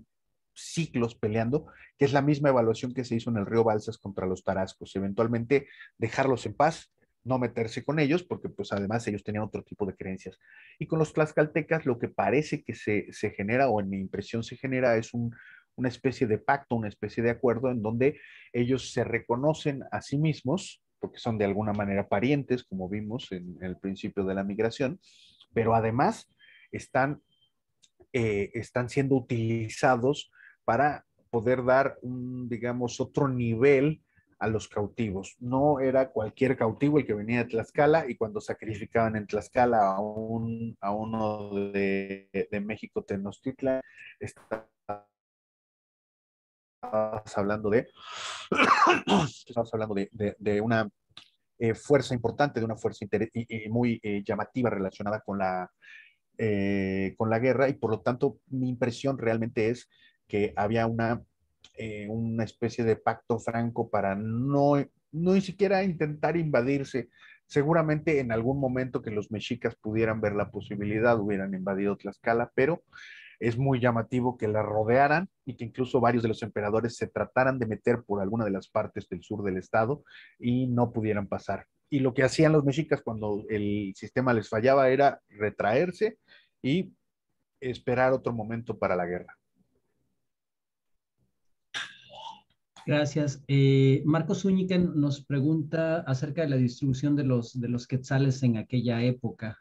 eh, por, por, lo del, por, esta cuestión presidente de los tributos, sobre todo en el sur. Bueno, eh, sabemos, particularmente la, la, matrícula nos habla de por lo menos cuatro o cinco tipos de plumas. Lo interesante es, por ejemplo, las investigaciones de la doctora Laura Filló y de, y de la doctora María, María Olvido, que ellas han trabajado con incluso el, el, Chimali, que está en el Museo Nacional de Historia, y la doctora Olvido ha trabajado incluso en Viena, en el penacho de Moctezuma y en su restauración, y pues han podido aprender mucho sobre el proceso en, de, en que los amantecas trabajaban la pluma y se dan cuenta de que para hacer un, bueno, nosotros decimos que en penacho de Mactezuma, pero en realidad es un Quetzalpanecayotl, que es un tipo particular de tocado del cabello. Este requería de una, eh, pues de varios cientos de animales muertos, ciertos cientos de aves muertas para poder elaborar uno de estos elementos. Por eso para nosotros pues es un poco chistoso porque pues pareciera que todo el mundo andaba totalmente emplumado con, con, con, con eh, plumas de quetzal, pero realmente este, este era un animal particularmente guardado en especial porque era, como les decía yo, las plumas que tienen la cola son cuatro o cinco, si no mal recuerdo. Estas plumas están, eh, eh, además, están conectadas con la espina dorsal, es decir, al quitárselas, el animal queda seriamente lastimado, eh, prácticamente listo para la muerte pero además es que solamente se están utilizando esas, eh, esas, eh, esas plumas y no necesariamente las otras plumas verdes se utilizan para ciertas cosas. Entonces hay una utilización y una diferenciación muy especial y obviamente que lo que generaban ellos, lo que generaban los mexicas era una presión sobre los eh, bienes y los recursos de las zonas que ellos conquistaban muy, muy potente y pues eh, esto todavía incluso lo podemos ver eh, hoy en día, no es un animal que, del cual, a pesar de ser el animal eh, oficial de Guatemala, no es un animal que particularmente abunde en la selva, es un animal bastante, bastante complejo.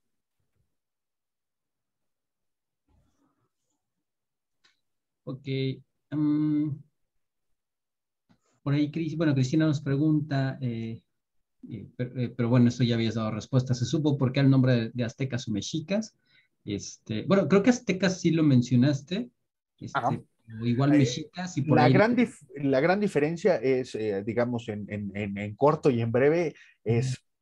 azteca se considera la persona que proviene de Aztlán, y entonces por eso los arqueólogos usualmente ya no queremos usar o pretendemos no usar el término azteca, porque no sabemos dónde está Aztlán. Entonces estamos haciendo referencia a un lugar mitológico, es como hablar de la Atlántida de alguna manera. No podemos hablar específicamente de eso. Y Mexica es el nombre particular específico del grupo que salió de Aztlán, uno de los grupos que salió de Aztlán, y entonces por eso le damos particularmente ese nombre. Después se le llamó Tenochca por el papel de uno de sus eh, gobernantes principales, Tenoch, antes de los emperadores, pero básicamente la diferencia es esa. El Mexica es, digamos, el nombre más real y Azteca hace referencia al evento mitológico de la salida desde Aztlán. Gracias. Y mm, César Martínez nos pregunta, ¿existe alguna evidencia de la llegada de los postecas en Tulum, allá en el Clásico Tardío? Y si esto, bueno, y si hay eh, esta evidencia, ¿a qué, ¿a qué hace referencia? Mira, hay, mm, hay eh, referencia del paso de los mexicas por la península de Yucatán en varios puntos. Particularmente eh, se buscaba el, hay un puerto muy importante llamado Chicalanco, que estaría en Campeche, probablemente, o, tal vez en la frontera entre Campeche y Tabasco, es decir, ahí en zona petrolera caliente. Y este es uno de los puntos que más se comerciaban y de donde se traía una enorme cantidad de productos desde toda la región eh, eh, maya. Sin embargo, creo también que eh, hay otros puntos específicos de la península de Yucatán que parecen haber sido pues visitados por los, por los mexicas, particularmente hay un depósito que estamos trabajando últimamente con muchas estrellas de mar y nos hace ver o nos hace pensar que estos, es, la especie la pudieron haber traído de cerca de Playa del Carmen en Cozumel, porque hay por ahí algunas playas que tienen una alta densidad de estos animales. Sin embargo, este es un proceso que apenas estamos investigando. Si a mí me preguntas, eh, mi impresión es que hubo presencia mexica en toda esta región. Hay que recordar que ya hacia el final del periodo posclásico, hacia 1520, pues la región maya se encontraba altamente fragmentada y pues lo que estamos viendo además es que los mexicas, pues así como muchos problemas para meterse en regiones lejanas, no tenían. Entonces es posible que hayan estado, si no conquistando, sí haciendo comercio, observando algunas regiones, pensando posteriormente en una mayor expansión, porque pues evidentemente el plan, el proyecto de los mexicas era la conquista de todo el territorio, por eso ellos consideraban que el centro del universo era el, el edificio de México, el edificio del Templo Mayor, a partir de ahí emanaban todo y entonces ellos tenían derecho divino a conquistar absolutamente todo. Gracias. Y bueno, vamos con una última de, Arturo, eh, Arturo Morales, que nos dice, bueno, esto ya es acerca de tu impresión. En la práctica que como arqueólogo has tenido, sobre todo de la práctica, bueno, de la etapa de Ahuizot, ¿a ti qué te ha impresionado más? Pues eh, mira, yo la verdad lo que más me impresiona de lo que yo estoy trabajando hoy en la mañana, eh, pues, es que parece que está uno presumiendo, pero hoy en la mañana hemos retirado unas 200 conchas de un depósito, eh, de una ofrenda que tiene un jaguar enterrado y que todavía no sabemos qué es, pero hay alrededor de un jaguar, hemos retirado miles de conchas y eh, es muy, muy llamativo, ya que estás ahí todo el día, estar pensando en que estos productos vienen, por ejemplo, unos, eh, las conchas están proveniendo todas del Océano Atlántico o todas las que hasta este momento hemos podido retirar. Y sin embargo, asociadas con estas conchas hemos retirado estrellas de mar que son totalmente del Océano Pacífico, sin duda alguna, y corales también provenientes del Océano Pacífico. Es decir, estoy viendo en el mismo depósito las dos costas de mi país, eh, puestas juntas en hace 520 años aproximadamente. Para mí eso es una cosa, eh, yo creo que es lo que más me, impresiona del trabajo, el hecho de, poder imaginar cosas que para nosotros incluso hoy en día serían increíblemente difíciles, como juntar ese tipo de productos en un, minuto. Sería complicado incluso con el DHL y con la estafeta. Y bueno, del mismo Arturo, en, su participación, dice, en los Zompantlis, eh, el diseño cilíndrico, ¿a qué hace referencia? Ah, se ha encontrado, es, es una parte interesante, no nada más es un muro, sino que además hay unos cilindros, es decir, unas torres de cráneos, y todo parece indicar, o lo que nos ha dicho eh, Raúl Barrera, el arqueólogo encargado del, sitio, todo parece indicar que esas torres sirven para que la gente entre, los guerreros entren a, a esas eh, torres y hagan penitencia dentro de las torres. Y esto es muy interesante porque todo el edificio, todo el muro, presenta los cráneos hacia afuera, pero la rueda presenta los cráneos hacia adentro. Es decir, están viendo hacia el espacio interior y es un espacio muy pequeño, es un espacio eh, bueno, nosotros nos permitieron bajar ahí y la verdad es muy impresionante porque tienes, puedes ver a 40 centímetros de distancia decenas de personas que fueron brutalmente asesinadas hace 500 años. Eh, digo, yo pues uno está acostumbrado a lidiar con esas cosas, pero a lo que vamos es que eh, está, parece estar diseñado para que por lo menos la parte de la torre sea para que entre algún guerrero o algún sacerdote pueda hacer penitencia y esté en contacto directo con, eh, con los cráneos. Es, es, algo, la verdad, eh, digo, yo no soy muy, muy, eh, muy creyente de la energía y pues yo me metí y me pareció muy padre, pero muchos de los compañeros que, que, entramos ahí, pues sí, sí se llevaron una impresión bastante más fuerte de lo que, de lo que es, porque en el fondo pues estás hablando de, vidas humanas independientemente de la cultura que, que las haya, haya visto pasar. Ok, pues, pues qué interesante, este, Miguel, sobre todo, bueno, como pues tenemos la fortuna de tener a alguien que está excavando hoy en la mañana, ¿no? Afortunadamente, sí, sí, sí. Ya luego les pasaré los siguientes chismes.